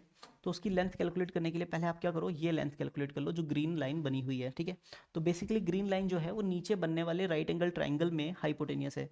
जिसकी एक साइड एल और एक साइड बी है तो बेसिकली ग्रीन वाले हाइपोटेनियस की लेंथ हो जाएगी रूट में L square plus B square ठीक है? और यहाँ पे हाइट एच वेट कर रही है तो इन, इस सिचुएशन में ग्रीन लाइन के ऊपर परपेंडिकुलर है हाइट तो जो ट्राइंगल ए सी बी बन रहा है, इसमें अगर पाइथागोरस लगाओगे तो base square plus perpendicular square यानी root of L square plus B square का स्क्वायर करोगे प्लस एच का भी स्क्वायर करोगे तो बेसिकली हमारे पास निकल के आएगा कि L square plus B square plus H square जो होगा वो किसके इक्वल हो जाएगा? ए बी स्क्वायर के इक्वल होगा। तो यहाँ से maximum length of rod maximum length rod which can be kept in a cuboidal room वो निकल के आएगा और वो कितना होगा? A B equals to root में L square plus B square plus H square होगा। ठीक है जी? और ये क्या होगा? किसको रिप्रेजेंट कर रहा होगा? ये ए बी रिप्रेजेंट कर रहा होगा डायगनल ऑफ़ द क्यूबाइड को। किसको? डायगनल ऑफ़ द क्यूबाइड को रिप्रेजेंट कर रहा होगा। क्यूबाइड का डायगनल मतलब ऐसी लेंथ ऑफ़ रॉड जो मैक्सिमम हो ना। एक सबसे बड़ी से बड़ी लेंथ की रॉड जो हम एक रूम में रख सकते हैं। कैसे रख सकते हैं? वो आप जिस रूम में बैठे हैं, उसमें बैठ के सोच सकते हैं। चलिए आगे बढ़ते हैं नेक्स्ट पॉइंट पे बात करते हैं। Find the volume total surface area and the lateral surface area of a cuboid जिसकी लेंथ 15 मीटर ब्रेथ 12 मीटर और हाइट 4 मीटर ठीक है? तो एल है 15 ठीक है जी? ब्रेथ है 12 ठीक है जी? और हाइट है फोर मीटर क्लियर अगर ऐसा है, अगर कैसा है, अगर ऐसा है तो समझने वाली बात सिर्फ़ इतनी सी है कि टोटल सरफेस एरिया तो कितना होगा? टोटल सरफेस एरिया का फॉर्मूला होता है two L B plus B H plus L H clear formula लगा देंगे, ठीक है जी? तो टू टाइम्स है ना? टू टाइम्स ठीक है जी? एल इंटू बी करेंगे फिफ्टीन इंटू ट्वेल्व है ना? फिफ्टीन इंटू ट्वेल्व मेरे यहाँ कितना होता है? वन एटी होता है। प्लस बी इंटू एच है ना? तो ट्वेल्व इंटू फोर कितना होगा? फोर्टी एट फिर एल इंटू एच तो फिफ्टीन इंटू फोर कितना हो जाएगा? सिक्सटी हो जाएगा, बिल्कुल सही। ठीक है? सिक्सटी और वन एट्टी टू फोर्टी हो जाएगा। टू फोर्टी में फोर्टी एट ऐड करेंगे तो टू एटी एट हो जाएगा। बेसिकली टू एटी एट का डबल जो होता है ना, वो होता है five seventy six centimetre square नहीं नहीं मीटर स्क्वायर सारी डायमेंशन मीटर में है तो मीटर स्क्वायर आ जाएगा टोटल सर्फेस एरिया अगर लेटरल सर्फेस एरिया की बात करें तो वो होता है two into L plus B into में एच क्लियर फॉर्मूले अगर याद है तो चैप्टर बहुत आसान है, ठीक है? तो two into L plus B है ना? एल प्लस बी है ना? क्या लगता है? फिफ्टीन प्लस ट्वेल्व कितना हो जाएगा? ट्वेंटी सेवन इंटू हाइट कितनी है? हाइट है फोर ठीक है जी? फोर है ना? तो ट्वेंटी सेवन का फोर टाइम्स होता है वन ज़ीरो एट का डबल होता है टू वन सिक्स तो two one six metre square ये क्या हो जाएगा? लेटरल सरफेस एरिया हो जाएगा। अगर बात करें वॉल्यूम की वॉल्यूम का फॉर्मूला क्या होता है? L into B into H ठीक है? बिना टाइम वेस्ट किए L into B into H L का वैल्यू फिफ्टीन बी का वैल्यू ट्वेल्व और एच का वैल्यू फोर है ना? तो फिफ्टीन इंटू फोर सिक्सटी हो जाएगा। तो सेवन ट्वेंटी मीटर क्यूब हो जाएगा वॉल्यूम क्लियर यहाँ तक की कहानी समझ में आती है? आगे बढ़े? बिल्कुल बढ़ते हैं आगे, ठीक है? चलिए क्वेश्चन कह रहा है how many how many bricks will be required to construct a wall 13.5 metre long six metre high and twenty two point five centimetre centimetre है ना? धोखा बोलते हैं, इसको क्या बोलते हैं? धोखा बोलते हैं ना? दो चीज़ें मीटर में देगा, एक चीज़ सेंटीमीटर में दे देगा, ताकि गलत करो ना? कितनी ब्रिक्स रिक्वायर्ड हैं इस वॉल को बनाने में? अगर हमें ये गिवन है कि एक ब्रिक का मेजर है twenty seven centimetre into twenty twelve centimetre into nine centimetre सीधा सा तरीका है, बड़े वॉल्यूम में छोटे वॉल्यूम का डिवाइड कर दो पता चल जाएगा कि छोटे वॉल्यूम वाली कितनी चीज़ें चाहिए, ठीक है? तो volume of volume of bricks in wall है ना? वॉल के अंदर जो ब्रिक्स आएँगी, उनका वॉल्यूम क्या है? अपॉन में वॉल्यूम ऑफ़ वन ब्रिक का डिवाइड कर दो। ठीक है जी? क्योंकि देखो वॉल बननी किससे है? ब्रिक से ही बननी है ना? तो volume of brick in wall कितना होगा? वॉल का वॉल्यूम निकाल लो बेसिकली वॉल का वॉल्यूम निकाल लो, ठीक है? तो वॉल में अगर देखा जाए तो लेंथ है 13.5 सेंटीमीटर नहीं नहीं मीटर है 13.5 मीटर है। उसको सेंटीमीटर में चेंज करो। सेंटीमीटर में चेंज करना मतलब 100 से मल्टीप्लाई करना। तो 13.5 को 100 से करोगे तो 1350 हो जाएगा। इतना सेंटीमीटर इनटू ये तो लेंथ हो गई। ब्रेथ कितनी है? सिक्स मीटर नहीं नहीं ब्रेथ इतनी है। 22.5 सेंटीमीटर तो वो सेंटीमीटर में ही है तो उसमें तो कोई दिक्कत ही नहीं है। और हाइट कितनी है? सिक्स मीटर है। उसको सेंटीमीटर में चेंज करोगे तो सिक्स हंड्रेड सेंटीमीटर हो जाएगा। और ऐसा सेंटीमीटर में चेंज क्यों किया हमने बच्चे? क्योंकि ब्रिक का जो डायमेंशन है, वो है सेंटीमीटर में, तीनों, ठीक है? तो क्यों ना छोटे को बड़े में चेंज करो, उससे बढ़िया ना? बड़े को ही छोटे में चेंज कर लो ना, है ना? छोटे के हिसाब से बड़े एडजस्ट कर ले तो कोई कलेश ही नहीं है। हाँ या ना चलिए बात करते हैं आगे। तो length into breadth into height यहाँ पे डिनोमिनेटर में मैंने लगा दिया क्लियर अब आप क्या करते हो? ट्वेंटी सेवन से इसको कैंसिल करोगे फाइव टाइम्स और ज़ीरो एज इट इज़ ठीक है? और पॉइंट यहाँ से भी हटा दो पॉइंट यहाँ से भी हटा दो तो टेन ऊपर वाले का नीचे नीचे वाले का ऊपर टेन से ten cancel twenty five five ज़ा one twenty five twenty five nine ज़ा टू ट्वेंटी फाइव ठीक है? नाइन से नाइन भी उड़ा दो, ठीक है जी? फाइव से सिक्स हंड्रेड में डिवाइड कर दो वन ट्वेंटी आ जाएगा। तो बेसिकली आ जाएगा वन ट्वेंटी इंटू फाइव है ना? नहीं one twenty into fifty one twenty into fifty है ना? कितना होगा? ट्वेल्व फाइव सा सिक्सटी और तीन ज़ीरो है दो ज़ीरो और एज इट इज़ है ना? तो ये हो जाएगा सिक्स थाउज़ेंड छः हज़ार ब्रिक्स चाहिए हमें इस पर्टिकुलर वॉल को बनाने के लिए ठीक है? क्वेश्चन आपको समझ में आ गया होगा। चलिए आगे बढ़ते हैं ना? नेक्स्ट पॉइंट पे आगे बढ़ते हैं हम ठीक है जी? ठीक है क्यूब क्या होता है आप समझें? क्यूब क्या होता है basically a cuboid whose length breadth and height all are equal then it is called a cube ठीक है? अगर किसी क्यूबॉइड के लेंथ ब्रेथ हाइट तीनों सेम हो जाए मतलब लेंथ भी ए यूनिट हो जाए ब्रेथ भी ए यूनिट हो जाए और हाइट भी ए यूनिट हो जाए क्लियर तो उस पर्टिकुलर सिचुएशन में, है ना, उस थ्री शेप को हम एक स्पेसिफिक नाम देते हैं क्यूब हो गया ये। क्या हो गया? क्यूब हो गया क्लियर तो अगर क्यूब बन गया है cube basically dice ice cube और शुगर क्यूब्स ये आपको पता होगा ही होगा, ठीक है? अगर ईच एज ऑफ़ क्यूब को हम देखा जाए तो साइड बोलते हैं साइड ऑफ़ क्यूब है ना? साइड ऑफ़ क्यूब अगर ए है तो total surface area of cube जो होगा वो सिक्स ए स्क्वायर हो जाएगा। क्या हो जाएगा? सिक्स ए स्क्वायर ऐसा क्यों होगा? क्योंकि देखो लेंथ ब्रेड और हाइट जब तीनों सेम हो गई तो हर एक फेस जो होगा ना क्यूब का, वो स्क्वायर बन जाएगा। क्या बन जाएगा? स्क्वायर आपको पता है ना, अगर स्क्वायर की साइड ए है तो एक स्क्वायर का एरिया ए स्क्वायर तो यहाँ पे अगर देखा जाए तो कितने फेसेस हैं? सिक्स फेसेस तो सिक्स स्क्वायर का एरिया सिक्स ए स्क्वायर हो जाएगा। तो total surface area six a square अगर लेटरल सर्फेस एरिया की बात करूँ, वो होता है एरिया ऑफ़ फोर वॉल्स तो फोर वॉल्स का एरिया फोर ए स्क्वायर हो जाएगा। अगर वॉल्यूम की बात करूँ, वॉल्यूम ऑफ़ क्यूब तो होता है area of base into height base का एरिया ए स्क्वायर उसको ए हाइट तक रेस किया तो ए स्क्वायर इंटू ए कितना आ जाएगा? ए क्यूब आ जाएगा. डायगनल की बात करूँ तो जो रूट में डायगनल ऑफ़ क्यूब था क्यूबाइड था l square plus b square plus h square इसमें एल बी और एच तीनों की जगह अगर ए ए ए रख दूँगा तो a square plus a square plus a square हो जाएगा थ्री ए स्क्वायर थ्री का स्क्वायर रूट निकलता नहीं है ए स्क्वायर बाहर आके बैठ जाएगा तो ये हो जाएगा रूट थ्री टाइम्स ए है ना? Root three times a this is the diagonal of cube ठीक है? आगे बढ़ते हैं नेक्स्ट बात करते हैं find the volume total surface area and later surface area of a total surface area and the length of diagonal of a cube जिसकी edge कितनी है? ट्वेंटी सेंटीमीटर है, ठीक है? तो सबसे पहले सोल्यूशन में, अगर ए का वैल्यू ट्वेंटी है, ठीक है जी? तो मैं सबसे पहले पूछूँगा वॉल्यूम वॉल्यूम हो जाएगा ट्वेंटी का क्यूब ठीक है जी? ए का क्यूब यानी ट्वेंटी का क्यूब कितना हो जाएगा? एट थाउज़ेंड सेंटीमीटर क्यूब ठीक है जी? वॉल्यूम निकल गया एक ही लाइन में, है ना? कैलकुलेशन बहुत आसान हो जाएगी। आगे टोटल सर्फिस एरिया की बात करें अगर हम तो टोटल सर्फिस एरिया क्या होता है बच्चे? सिक्स ए स्क्वायर है ना? तो सिक्स इंटू ए स्क्वायर यानी सिक्स इंटू ट्वेंटी का स्क्वायर सिक्स इंटू ट्वेंटी का square four hundred which is equal to two four double zero centimetre square ठीक है? अगर बात करें कर्ड सर्फेस एरिया की कर्ड सर्फेस एरिया क्या होगा? फोर ए स्क्वायर होगा, ना? तो फोर इंटू ए स्क्वायर मतलब ट्वेंटी का स्क्वायर यानी four hundred four hundred four सा सिक्सटीन हंड्रेड ठीक है?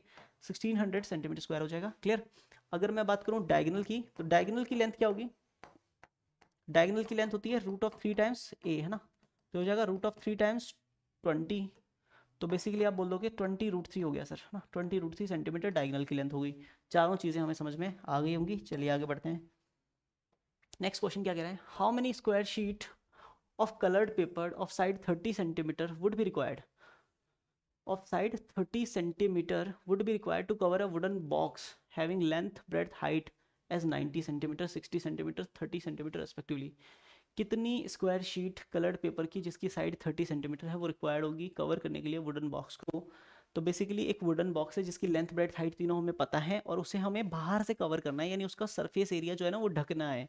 तो बेसिकली आपको पहले टी एस ए ऑफ़ क्या निकालना है? क्यूबाइड निकालना है। ठीक है जी? और उसमें एरिया ऑफ़ वन शीट का डिवाइड कर देना है। Area of one one sheet का डिवाइड कर देना है। टोटल एरिया में अगर वन शीट के एरिया का डिवाइड कर दोगे तो पता चल जाएगा कितनी शीट चाहिए। तो टोटल सर्फेस एरिया क्यूबाइड का क्या होता है? Two into l b plus b h plus l h तो two into l into b करूँगा नाइनटी इंटू सिक्सटी क्या लगता है? नाइन सिक्स फिफ्टी फोर और double zero as it is plus sixty into thirty करूँगा eighteen hundred हो जाएगा। बहुत बढ़िया। एंड थर्टी इंटू नाइन्टी करूँगा टू सेवन डबल ज़ीरो हो जाएगा। ठीक है जी? और divided by area of one sheet हो जाएगा स्क्वायर शीट है ना? कैसी शीट है? स्क्वायर शीट है स्क्वायर का एरिया होता है साइड इंटू साइड यानी थर्टी इंटू थर्टी डिनोमिनेटर में वेट कर रहा है। ठीक है जी, कोई बात नहीं। टू एज इट इज़ तीनों को ऐड करते हैं ना। दो ज़ीरो दो ज़ीरो दो ज़ीरो तो लास्ट में दो ज़ीरो तो एज इट इज़ आने ही आने हैं। ठीक है? ट्वेंटी सेवन और एटीन है ना? ट्वेंटी सेवन और एटीन कितने होते हैं? ये होते हैं twenty seven eight thirty five forty five forty five में फिफ्टी फोर ऐड करेंगे तो भैया नाइन्टी नाइन आता हुआ दिख रहा है। ठीक है जी? Divided by thirty into thirty हो जाएगा नाइन हंड्रेड दोनों ज़ीरो कैंसिल कर दिए। नाइन से नाइन्टी नाइन को एलेवन टाइम्स कैंसिल किया। एलेवन टू ज़ा ट्वेंटी टू तो ट्वेंटी टू शीट्स चाहिए साहब। तो option B is the correct answer चलिए आगे बढ़ते हैं नेक्स्ट पॉइंट पे। ठीक है होप सो आपको ये समझ में आ गए होंगे। चलिए आई थिंक लास्ट टॉपिक है ये, है ना? सिलेंडर ठीक है सिलेंडर पे बात कर लेते हैं। Solids like circular pillars circular pipes circular pencils measuring jars और अगर मैं बात करूँ रोड रोलर ये सब क्या होते हैं? सिलेंड्रिकल शेप होती हैं। बेसिकली अगर एक रेक्टेंगल को उसकी लेंथ या ब्रेथ के अलॉन्ग अगर रोटेट कर दें तो क्या बनेगी? कौन सी सॉलिड शेप बनेगी? सिलेंडर बनेगा। राइट सर्कुलर सिलेंडर है ना? सिलेंडर नहीं राइट सर्कुलर सिलेंडर क्या बनेगा? राइट सर्कुलर सिलेंडर है ना? तो आप ये सोचें कि क्या ये भी एक सिलेंडर है? बिल्कुल, ये भी एक सिलेंडर ही है। पर हमें जो क्लास नाइन्थ में पढ़ना है, वो है राइट सर्कुलर सिलेंडर ठीक है? राइट सर्कुलर सिलेंडर मतलब जिसका टॉप फेस और बॉटम फेस है ना? दोनों को ज्वाइन करने वाला जो लाइन हो, वो बेस के, दोनों बेसिस के परपेंडिकुलर हो। दोनों बेसिस के क्या हो? परपेंडिकुलर हो। तो ऐसा सिलेंडर जो होगा, उसको राइट सर्कुलर सिलेंडर बोलेंगे। उसी के बारे में बात करेंगे सारी। तो इसका कर्ड सर्फेस एरिया जो होता है ना basically two pi r h होता है। क्या होता है? टू पाई आर एच है ना? क्योंकि आप ये समझो, अगर ये रेडियस आर है ना? तो ये वाली जो पूरी लेंथ है ना, ये पूरी लेंथ हो जाएगी टू पाई आर है ना? ठीक है जी? और अगर इसको यहाँ से काट के बिल्कुल सीधा कर दें फ्लैट पेपर कर दें, या फिर आप ए फोर साइज़ की शीट को अगर फोल्ड करके देखोगे तो वो भी एक सिलेंडर बन सकता है ना, थोड़ी देर के लिए ना, थोड़ी देर जैसे ही छोड़ोगे, वापस फ्लैट पेपर हो जाएगा, है ना। तो जैसे ही एक ए फोर साइज़ शीट को फोल्ड करते हैं तो वो सिलेंडर की शेप ले लेता है। तो हमें यहाँ पे समझने की ज़रूरत है कि वापस उसको अगर अनफोल्ड करें, है ना, और स्ट्रेट फॉरवर्ड उसको एक शीट बना दें फिर से तो ये समझने वाली बात है कि ये जो फोल्डेड पार्ट था, ये जो कि टू पाई है, वो स्ट्रेट हो जाएगा ना। क्या हो जाएगा? बिल्कुल स्ट्रेट हो जाएगा क्लियर है ना? ऐसा कुछ हो जाएगा क्लियर तो ये लेंथ हो गई टू पाई आर और सिलेंडर के लिए ये वाली डायमेंशन जो होती है, वो होती है हाइट ठीक है? तो ये हो गया हाइट क्लियर तो अगर आपसे पूछा जाए कि इस पूरे एरिया के बारे में क्या बता सकते हो तो भैया ये रेक्टेंगल बन गया। लेंथ इंटू ब्रेथ करो, आ जाएगा कर्ड सर्फेस एरिया तो टू पाई आर को एच से मल्टीप्लाई कर देंगे। टू पाई आर को किससे मल्टीप्लाई कर देंगे? एच से। तो क्या आ जाएगा मेरे पास में? इसका सिलेंडर का कर्ड सर्फेस एरिया आ जाएगा clear curved surface area two pi r h होता है। उसके बाद, अगर आपसे पूछा जाए नीचे वाले सर्कल का एरिया तो कितना बोलोगे? पायर स्क्वायर ऊपर वाले सर्कल का एरिया भी तो वो भी कितना होगा? Pi r square pi r square plus pi r square कितना होगा टू पायर स्क्वायर तो कर्ड सरफेस एरिया जो टू पाई आर एच था सी एस ए जो था, उसमें अगर आप फ्लैट सरफेस एरिया यानी two pi r square add कर दें तो क्या बन जाएगा? ये बन जाएगा टोटल सरफेस एरिया ठीक है जी? तो total surface area basically total surface area का फॉर्मूला क्या बन जाएगा हमारे पास में? दोनों में टू पाई आर कॉमन है कॉमन ले लिया साहब ब्रैकेट में बचेगा एच प्लस आर तो total surface area of cylinder जो होता है, वो होता है two pi r h plus r two pi r bracket में एच प्लस आर क्लियर आगे वॉल्यूम की बात करें वॉल्यूम ऑफ़ सिलेंडर वही area of base into height circular base है सर्कल का एरिया पाई आर स्क्वायर उसको कितनी हाइट तक रेज किया है? एच हाइट तक तो वॉल्यूम हो जाएगा pi r square into h ना? Pi r square into h ठीक है? तो pi r square h is the volume of the cylinder ठीक है? अब बात कर लेते हैं अगली, ठीक है? अगली बात कर लेते हैं इसमें, ठीक है जी? ओके तो क्वेश्चन देखते हैं। क्वेश्चन क्या कहते हैं? How many cubic metre how many cubic metres of earth must be dug out to sink a well 14 metre deep and having radius of 4 metre है ना? डेप्थ कितनी है? एच है 14 मीटर ठीक है जी? और रेडियस कितनी है? रेडियस है 4 मीटर ठीक है जी? अगर ऐसा है तो कितनी अर्थ बाहर आएगी, ठीक है? सबसे पहला काम तो ये कर लेते हैं कि एक यहाँ पे ना रैंडम सा शेप बना लेते हैं ऐसा कुछ। आप ये समझें कि मुझे ज़मीन पे क्या करना है? एक वेल डक करना है। ना मैं नहीं करूँगा, है ना? बंदे बुलाऊँगा ये सब करने के लिए, ठीक है जी? ऐसा कुछ, है ना? ठीक है। और इसमें से जो अर्थ बाहर आएगा, उसका हम कुछ ना कुछ आगे करने वाले हैं। वो हम बाद की बात है, पहले देख लेते हैं कितनी अर्थ बाहर आएगी। तो volume of earth taken outside है ना? वॉल्यूम ऑफ़ अर्थ जो बाहर आएगा वॉल्यूम ऑफ़ अर्थ कितना होगा? वॉल्यूम ऑफ़ अर्थ कितना होगा? वॉल्यूम ऑफ़ अर्थ हो जाएगा pi r square h pi square h तो पाई की जगह twenty two by seven radius की जगह पे कितना आएगा? Four into four into h की जगह पे कितना आएगा? फोर्टीन सेवन से फोर्टीन को टू टाइम्स कैंसिल किया। टू फोर ज़ा एट है ना? एट फोर ज़ा thirty two thirty two two ज़ा sixty four sixty four sixty four है ना? सिक्सटी फोर का four, six, sixty four and six हो जाएगा सेवेंटी तो seven zero four metre cube, इतना वॉल्यूम ऑफ़ अर्थ बाहर आएगा इस वेल से, ठीक है? आगे क्वेश्चन क्या कहता है? If the earth taken out is spread over a plot plot of dimension this into this है ना? What is the height of the platform so formed है ना? ये जो वॉल्यूम निकला है ना, इसको एक बाहर एक प्लॉट है ना साइड में एक प्लॉट है ना? उसकी लेंथ ब्रेड हमें पता है, इसके ऊपर पूरी अर्थ को निकाल के यहाँ पे स्प्रेड कर दिया। इस पर क्या कर दिया? स्प्रेड कर दिया ना? तो आपको पता है, जब भी इस पर कोई अर्थ स्प्रेड करेंगे तो डेफिनेटली है ना अर्थ स्प्रेड करने के बाद में कुछ ऐसा दिखेगा आपको, ना? कुछ ऐसा आपको दिखेगा क्लियर और वो कुछ ऐसा दिखेगा मतलब आप ये समझो कि ये लेंथ थी ट्वेंटी फाइव मीटर है ना? और ब्रेड थी कितनी? सिक्सटीन मीटर ठीक है जी? और मैंने जो अर्थ डाली, वो एच हाइट तक डाली, कितनी? मतलब ये जो पूरी अर्थ थी, वो उस पर बिछा दी और बिछाने के बाद में उसकी हाइट कितनी हो गई? एच मीटर हो गई, है ना?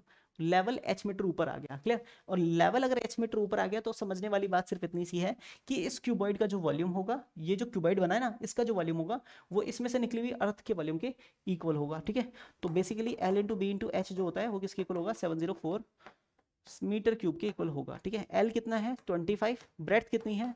सिक्सटीन एच कितना है? पता नहीं that is equal to seven zero four H equal to जाएगा सेवन ज़ीरो फोर के अपॉन में ट्वेंटी फाइव इंटू सिक्सटीन ठीक है? तो पता है, दिमाग वाली बात सिर्फ़ इतनी है कि फोर से इसको डिवाइड करो फोर फोर सा सिक्सटीन और फोर से ऊपर वाले को डिवाइड करो फोर टू फोर वन सा फोर ठीक है? बचेगा थ्री फोर सेवन सा ट्वेंटी एट बचेगा two four six twenty four ठीक है? इतना करने के बाद में ट्वेंटी फाइव फोर सा कितना हो जाएगा? ट्वेंटी फाइव फोर सा हंड्रेड हो जाएगा। तो बेसिकली हंड्रेड का वन सेवेंटी सिक्स में डिवाइड करेंगे तो one point seven six meter आ जाएगा, किसकी लेंथ एच की, है ना? अगर आप फोर से भी और डिवाइड कर देते तो फिर ट्वेंटी फाइव से डिवाइड करना पड़ता बच्चों की तरह तो वो मैंने नहीं किया। One point seven six meter जो आई, वो प्लेटफॉर्म की हाइट आ गई, ठीक है? This is what we have required ठीक है? क्वेश्चन आपको समझ में आया होगा? चलती है, चलते हैं आगे, बढ़ते हैं नेक्स्ट क्वेश्चन पे, ठीक है? क्वेश्चन क्या कहता है? ध्यान से समझो।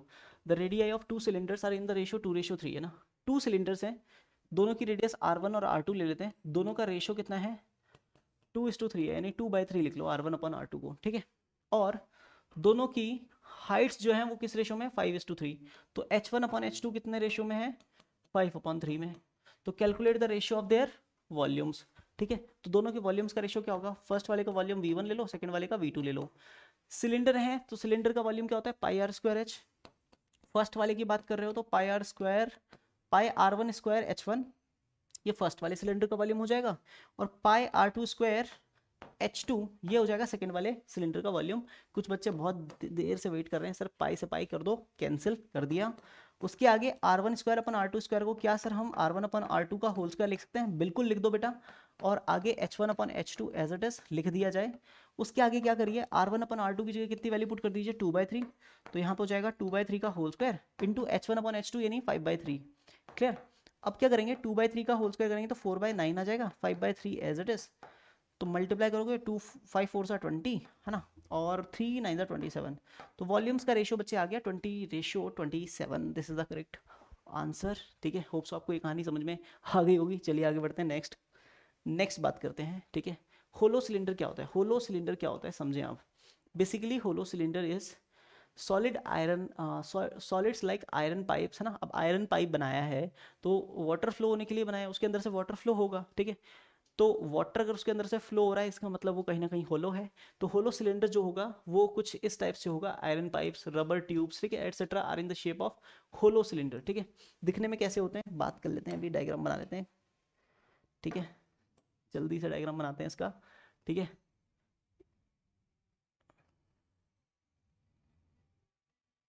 ठीक है।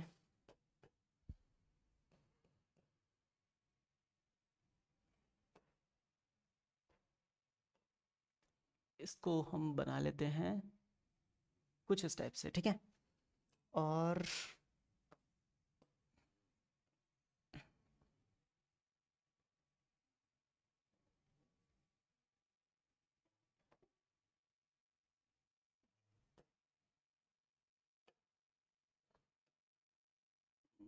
ये वाली जो शेप बन रही है बेटा this is basically hollow cylinder right ठीक है, समझ में आपको आ ही रहा होगा ये होलो सिलेंडर ठीक है? अब समझने वाली बात क्या है इसमें? कि जो इसमें इनर रेडियस होती है ना, देखो, बाहर वाला सिलेंडर जो होगा वो किसी ना किसी मटेरियल का बना होगा, लेकिन अंदर वाला सिलेंडर जो होगा वो एयर ऑक्यूपाइड होगा, ये बात आपको इसलिए समझ में आ जानी चाहिए क्योंकि ये क्या है? होलो सिलेंडर है राइट अगर अंदर वाली रेडियस को मैं स्मॉल आर बोल दूँ और बाहर वाली रेडियस जो है ना, उसको मैं कैपिटल आर बोल दूँ, ठीक है जी? कैपिटल आर और हाइट अगर होलो सिलेंडर की कितनी है हमारे पास? एच है। तो आप ये समझे, तीन चार छोटी छोटी चीज़ें यहाँ पे निकल के आ जाएँगी। एक तो कर्ड सरफेस एरिया ना कर्ड सरफेस एरिया जो होगा, इस पूरे सॉलिड सिलेंडर का तो वो दो पार्ट्स में डिवाइड हो गया। First outer curved surface area second अंदर वाला इनर कर्ड सरफेस एरिया ठीक है?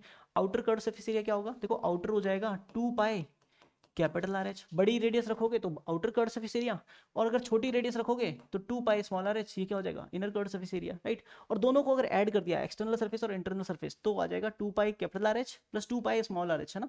ये हो जाएगा curved surface area of the hollow cylinder clear आगे की बात क्या है? टोटल सर्फेस एरिया की अगर बात करें तो कर्ड सरफेस जो था, अभी जो कैलकुलेट किया ना curved surface two pi capital R H plus two pi small R H ये तो एज इट इज़ आएगा ही प्लस दो two into area of base rings है ना?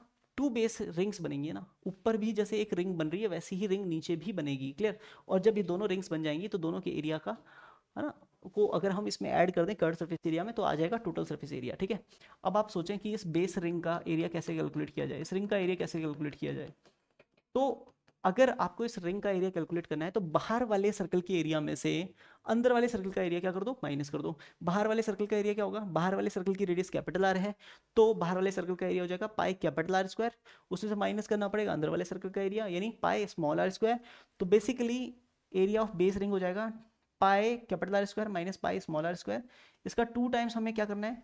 कर्ड सरफेस में ऐड करना है ताकि क्या आ जाए टोटल सरफेस एरिया क्योंकि एक रिंग ऊपर बनेगी, एक रिंग नीचे भी बनेगी क्लियर अब अगर हम बात करें वॉल्यूम ऑफ़ मटीरियल जिस भी मटेरियल से मैंने ये होलो सिलेंडर बनाया है, अंदर वाला तो एयर ऑक्यूपाइड है, ठीक है?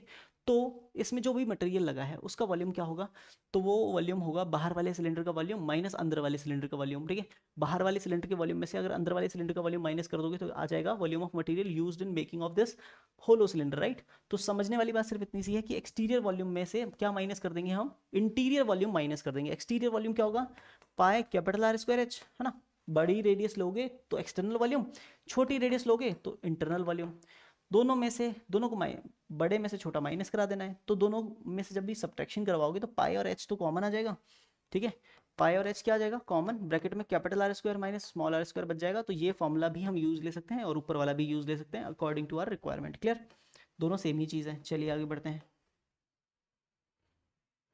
यहाँ पे बात कर लेते हैं a well of inner diameter 14 meter ठीक है? एक वेल है जिसका इनर डायमीटर यानी स्मॉल रेडियस कितनी है? 14 मीटर है, यानी डायमीटर 14 है तो रेडियस कितना हो जाएगा? 7 मीटर ठीक है?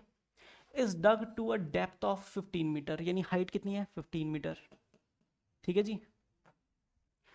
Earth taken out of it has been evenly spread all around it to a width of seven meter अच्छा जी। ठीक है ठीक है ठीक है ठीक है ठीक है, समझ में आ गया। ये क्या कहना चाह रहा है? ये कहना चाह रहा है कि एक ऐसा कुछ था और एक ऐसा कुछ हुआ अब आगे चल के है ना? क्या हुआ वो तो बताएँगे बाद में ठीक है? बट आप ये समझें कि एक हमने आ, ये एक वेल हमने डक किया है ठीक है जी? कर दिया डक ठीक है? वेल हमने डक किया इसमें से जो भी अर्थ निकला जो भी अर्थ निकला उसको जो भी अर्थ निकला उसको क्योंकि देखो इसकी स्मॉल रेडियस कितनी है? आर और इसकी डेप्थ कितनी है? एच ठीक है? जो भी इसमें से अर्थ निकला, जो भी इसमें से अर्थ निकला, उस अर्थ को इसी वेल के चारों तरफ़ सेवन मीटर की विड्थ लेकर के स्प्रेड कर दिया ना। अब देखो, यहाँ पे तो बीच वाले पोर्शन में तो आप अर्थ डालोगे नहीं, क्योंकि वो अर्थ तो फिर वापस उसमें चली जाएगी तो किया हुआ काम बेकार हो जाएगा ना। तो आप अर्थ कहाँ रख स्प्रेड करोगे? इस रिंग के चारों तरफ़ ना, अंदर वाली रिंग के चारों तरफ़ ना। कितनी विड्थ तक? सेवन मीटर विड्थ तक, ठीक है? तो आपको ये पता होना चाहिए कि जैसे ही आप ये स्प्रेड करोगे इसके चारों तरफ़, ठीक है? तो आप कौन से एरिया पर स्प्रेड नहीं अर्थ कौन से एरिया पे नहीं डालोगे? इस एरिया पे आप अर्थ नहीं डालने वाले हो, ठीक है जी? इस एरिया पे आप अर्थ नहीं डालोगे और बाकी सारे एरिया पे आप अर्थ डालेंगे, ठीक है जी? तो जैसे ही आप बाकी सारे एरिया पे अर्थ डालेंगे तो मैंने पिंक उस कलर को किया है जिसपे जिसके अंदर अर्थ नहीं जाएगा, ठीक है? जिसके बाहर और जिसके अंदर अर्थ जाएगा, वो मैंने क्या कर दिया है? ग्रीन कलर से किया है। क्लियर? ये ग्रीन कलर से कर दिया। ठीक है? अब आप ये समझें कि इस पोर्शन में मैंने सारा अर्थ क्या कर दिया? डाल दिया। क्लियर? इस पोर्शन में मैंने सारा अर्थ डाल दिया और जब सारा अर्थ इस पोर्शन में डाल दिया तो ऊपर की साइड बन गया ये एक होलो सिलेंडर। ठीक है? तो मुझे पता करना है, हमने एम्बैंकमेंट तो बना लिया हमें फाइंड करना है find the height of the embankment so formed इसकी हाइट पता करनी है। ठीक है? कैपिटल एच बोल देते हैं इसको, क्योंकि वहाँ पे स्मॉल एच आ चुका है। छोटी सी बात ये सोचो, यहाँ से आठ तक जो हमने वेल डक किया था, उसमें से कितना अर्थ बाहर आया ना? तो वॉल्यूम ऑफ़ अर्थ पहले निकाल लो। वॉल्यूम ऑफ़ अर्थ कितना होगा? वो हो जाएगा पाई आर स्क्वायर एच ठीक है जी? तो पाई की जगह twenty two by seven radius की, एक काम करते हैं पाई को कैंसिल नहीं करते हैं। पाई की वैल्यू ही नहीं डालते हैं। क्योंकि आगे जाके पाई से पाई कैंसिल होने की संभावना है। पाए क्या और आर स्क्वायर करेंगे तो सेवन का स्क्वायर, ठीक है जी? इनटू में कितना? एच की जगह फिफ्टीन, ठीक है जी? ये हमारे पास वॉल्यूम ऑफ़ अर्थ आ गया ना। ये वॉल्यूम ऑफ़ अर्थ हमने यहाँ पे स्प्रेड किया ना। यहाँ पे स्प्रेड किया तो ये जो होलो सिलेंडर बन रहा है, इस होलो सिलेंडर की जो एक्सटर्नल रेडियस है वो कितनी होगी? अंदर वाली रेडियस प्लस सेवन मीटर, ठीक है? अंदर वाली रेडियस सेवन थी सेवन प्लस सेवन करोगे तो ये एक्सटर्नल रेडियस कैपिटल आर हो जाएगी फोर्टीन मीटर, ठीक है जी? अब आप निकाल लो volume of hollow cylinder. Volume of hollow cylinder जो होगा, वो किसके इक्वल होगा? वो इक्वल होगा बच्चे, वो इक्वल होगा volume of earth taken out के, है ना? वॉल्यूम ऑफ़ अर्थ के, जो हमें वहाँ स्प्रेड करनी है, ठीक है जी? तो वॉल्यूम ऑफ़ होलो सिलेंडर होता है pi capital R square minus small R square into में जो एम्बैंकमेंट की हाइट है that is capital H that will be equal to volume of earth हो जाएगा पाए इंटू सेवन का स्क्वायर इंटू फिफ्टीन क्लियर अब आपसे कहा था मैंने पाई से पाई क्या हो जाएगा? कैंसिल हो गया। कैपिटल आर की जगह पे वैल्यू पुट करेंगे। देखो कैपिटल आर मेरे पास कितना आया? सेवन प्लस सेवन यानी फोर्टीन मीटर तो यहाँ पे पुट करेंगे फोर्टीन का स्क्वायर माइनस आर की जगह सेवन का स्क्वायर इंटू कैपिटल एच ठीक है जी? That is equal to seven का square forty nine into fifteen clear अब आपको क्या लगता है फोर्टीन का स्क्वायर कितना होता है? वन नाइनटी सिक्स उसमें से सेवन का स्क्वायर फोर्टी नाइन माइनस करोगे वन फोर्टी सेवन बचेगा, उसको डिवाइड में फेंक दो तो कैपिटल एच इक्वल टू जाएगा forty nine into fifteen divided by one forty seven है ना? आप भी जानते हो फोर्टी नाइन से थ्री टाइम्स कैंसिल करेंगे थ्री से फिफ्टीन को फाइव टाइम्स तो जो एम्बैंकमेंट बनेगा, उसकी हाइट कितनी हो जाएगी? फाइव मीटर हाइट हो जाएगी। कितनी हाइट हो जाएगी? फाइव मीटर हाइट हो जाएगी। क्लियर होप सो ये कहानी आपको अच्छे से समझ में आ गई होगी, ठीक है? तो नेक्स्ट क्वेश्चन पे बात कर लेते हैं। क्या कहता है next question how many spherical bullets can be made out of a solid cube of lead whose edge of measure 44 centimeter each bullet being 4 centimeter in diameter है ना? हर एक बुलेट का डायमीटर कितना है? 4 सेंटीमीटर है। हर एक बुलेट का diameter कितना है? 4 सेंटीमीटर है। तो हर एक बुलेट की रेडियस कितनी हो गई? 2 सेंटीमीटर हो गई। तो वॉल्यूम ऑफ़ वन बुलेट कितना हो जाएगा? वॉल्यूम ऑफ़ वन बुलेट हो जाएगा two volume of one bullet हो जाएगा स्पेरिकल बुलेट है ना? तो वॉल्यूम ऑफ़ वन बुलेट हो जाएगा four by three pi radius का क्यूब यानी टू का क्यूब ठीक है जी? ये वॉल्यूम ऑफ़ वन बुलेट हो गया, ठीक है? और वॉल्यूम ऑफ़ क्यूब क्या हो जाएगा? वॉल्यूम ऑफ़ क्यूब हो जाएगा हमारे पास में एज का क्यूब तो क्यूब की एज कितनी है? फोर्टी फोर तो फोर्टी फोर का क्यूब ठीक है? हमें चाहिए कि कितनी बुलेट बनेंगे ना? हाउ मेनी स्फेरिकल बुलेट्स है ना? तो क्या करेंगे? बड़े वॉल्यूम में छोटे वॉल्यूम का डिवाइड कर देंगे, है ना? तो volume of cube volume of cube upon volume of one bullet one bullet. ये अगर हम कैलकुलेट करें तो इसका जो रिज़ल्ट आएगा वो हमें दे जाएगा कि कितनी नंबर ऑफ़ बुलेट्स बन सकती हैं, ठीक है? तो वॉल्यूम ऑफ़ क्यूब हो जाएगा 44 का क्यूब यानी 44 four into forty four into forty four clear divided by one bullet का वॉल्यूम कितना था? Four pi four by three तो अपॉन वाला थ्री ऊपर लगा दिया। पाई की जगह ट्वेंटी टू बाई सेवन ऊपर चला जाएगा। इंटू का क्यूब यानी टू इंटू टू ठीक है जी? Okay okay. ट्वेंटी टू से फोर्टी फोर को टू टाइम्स कैंसिल किया, टू से टू कैंसिल कर दिया, फोर से फोर्टी फोर को इलेवन टाइम्स कैंसिल कर दिया, टू से फोर्टी फोर को ट्वेंटी टू टाइम्स ठीक है जी, टू से ट्वेंटी टू को इलेवन टाइम्स इलेवन को इलेवन से मल्टीप्लाई किया कितना आया? वन ट्वेंटी वन आया सेवन थ्री का कितना हुआ? Twenty one one twenty one को ट्वेंटी वन से मल्टीप्लाई करना है है ना? तो ट्वेंटी वन का one two forty two two four forty four four ठीक है, और ट्वेंटी वन वन ज़ा twenty one four twenty five two five four four one है ना? टू फाइव फोर वन है ना, इतनी बुलेट्स बनेगी। ठीक है जी साहब? है ना कैलकुलेशन एरर कुछ हुई हो तो देख लेना, ठीक है? चलिए आगे बढ़ते हैं। आई थिंक आज के लिए इतना ही है, ठीक है जी? होप सो आपको सरफेस एरिया वॉल्यूम चैप्टर अच्छे से समझ में आ गया होगा, ठीक है? आज के लिए इतना ही, है ना? मज़ा आया क्लास में, ठीक है? कैलकुलेशन आपकी भी स्ट्रांग हो सकती है। आप भी फास्ट कैलकुलेशन कर सकते हैं ना? लेकिन इसका मतलब ये नहीं कि कैलकुलेशन की लिए कोई स्पेशल कोर्स नहीं नहीं नहीं नहीं। आप क्या करिए, अपनी बेसिक जो कैलकुलेशन की अप्रोच है ना, उनको इतना ज़्यादा यूज़ कीजिए कि वो उससे आप बहुत ज़्यादा यूज़ टू हो जाएँ, ठीक है? जितना ज़्यादा हम किसी चीज़ को यूज़ करते हैं, उतना ज़्यादा हम उसमें परफेक्शन ला सकते हैं राइट तो ज़्यादा, जितनी ज़्यादा कैलकुलेशन खुद से करेंगे, उतना ज़्यादा बढ़िया रहेगा। कैलकुलेटर का यूज़ ना करें। आज के लिए इतना ही। Thanks to all of you thank you bye bye have nice day hope you enjoy today's class bye to everyone see you in the next class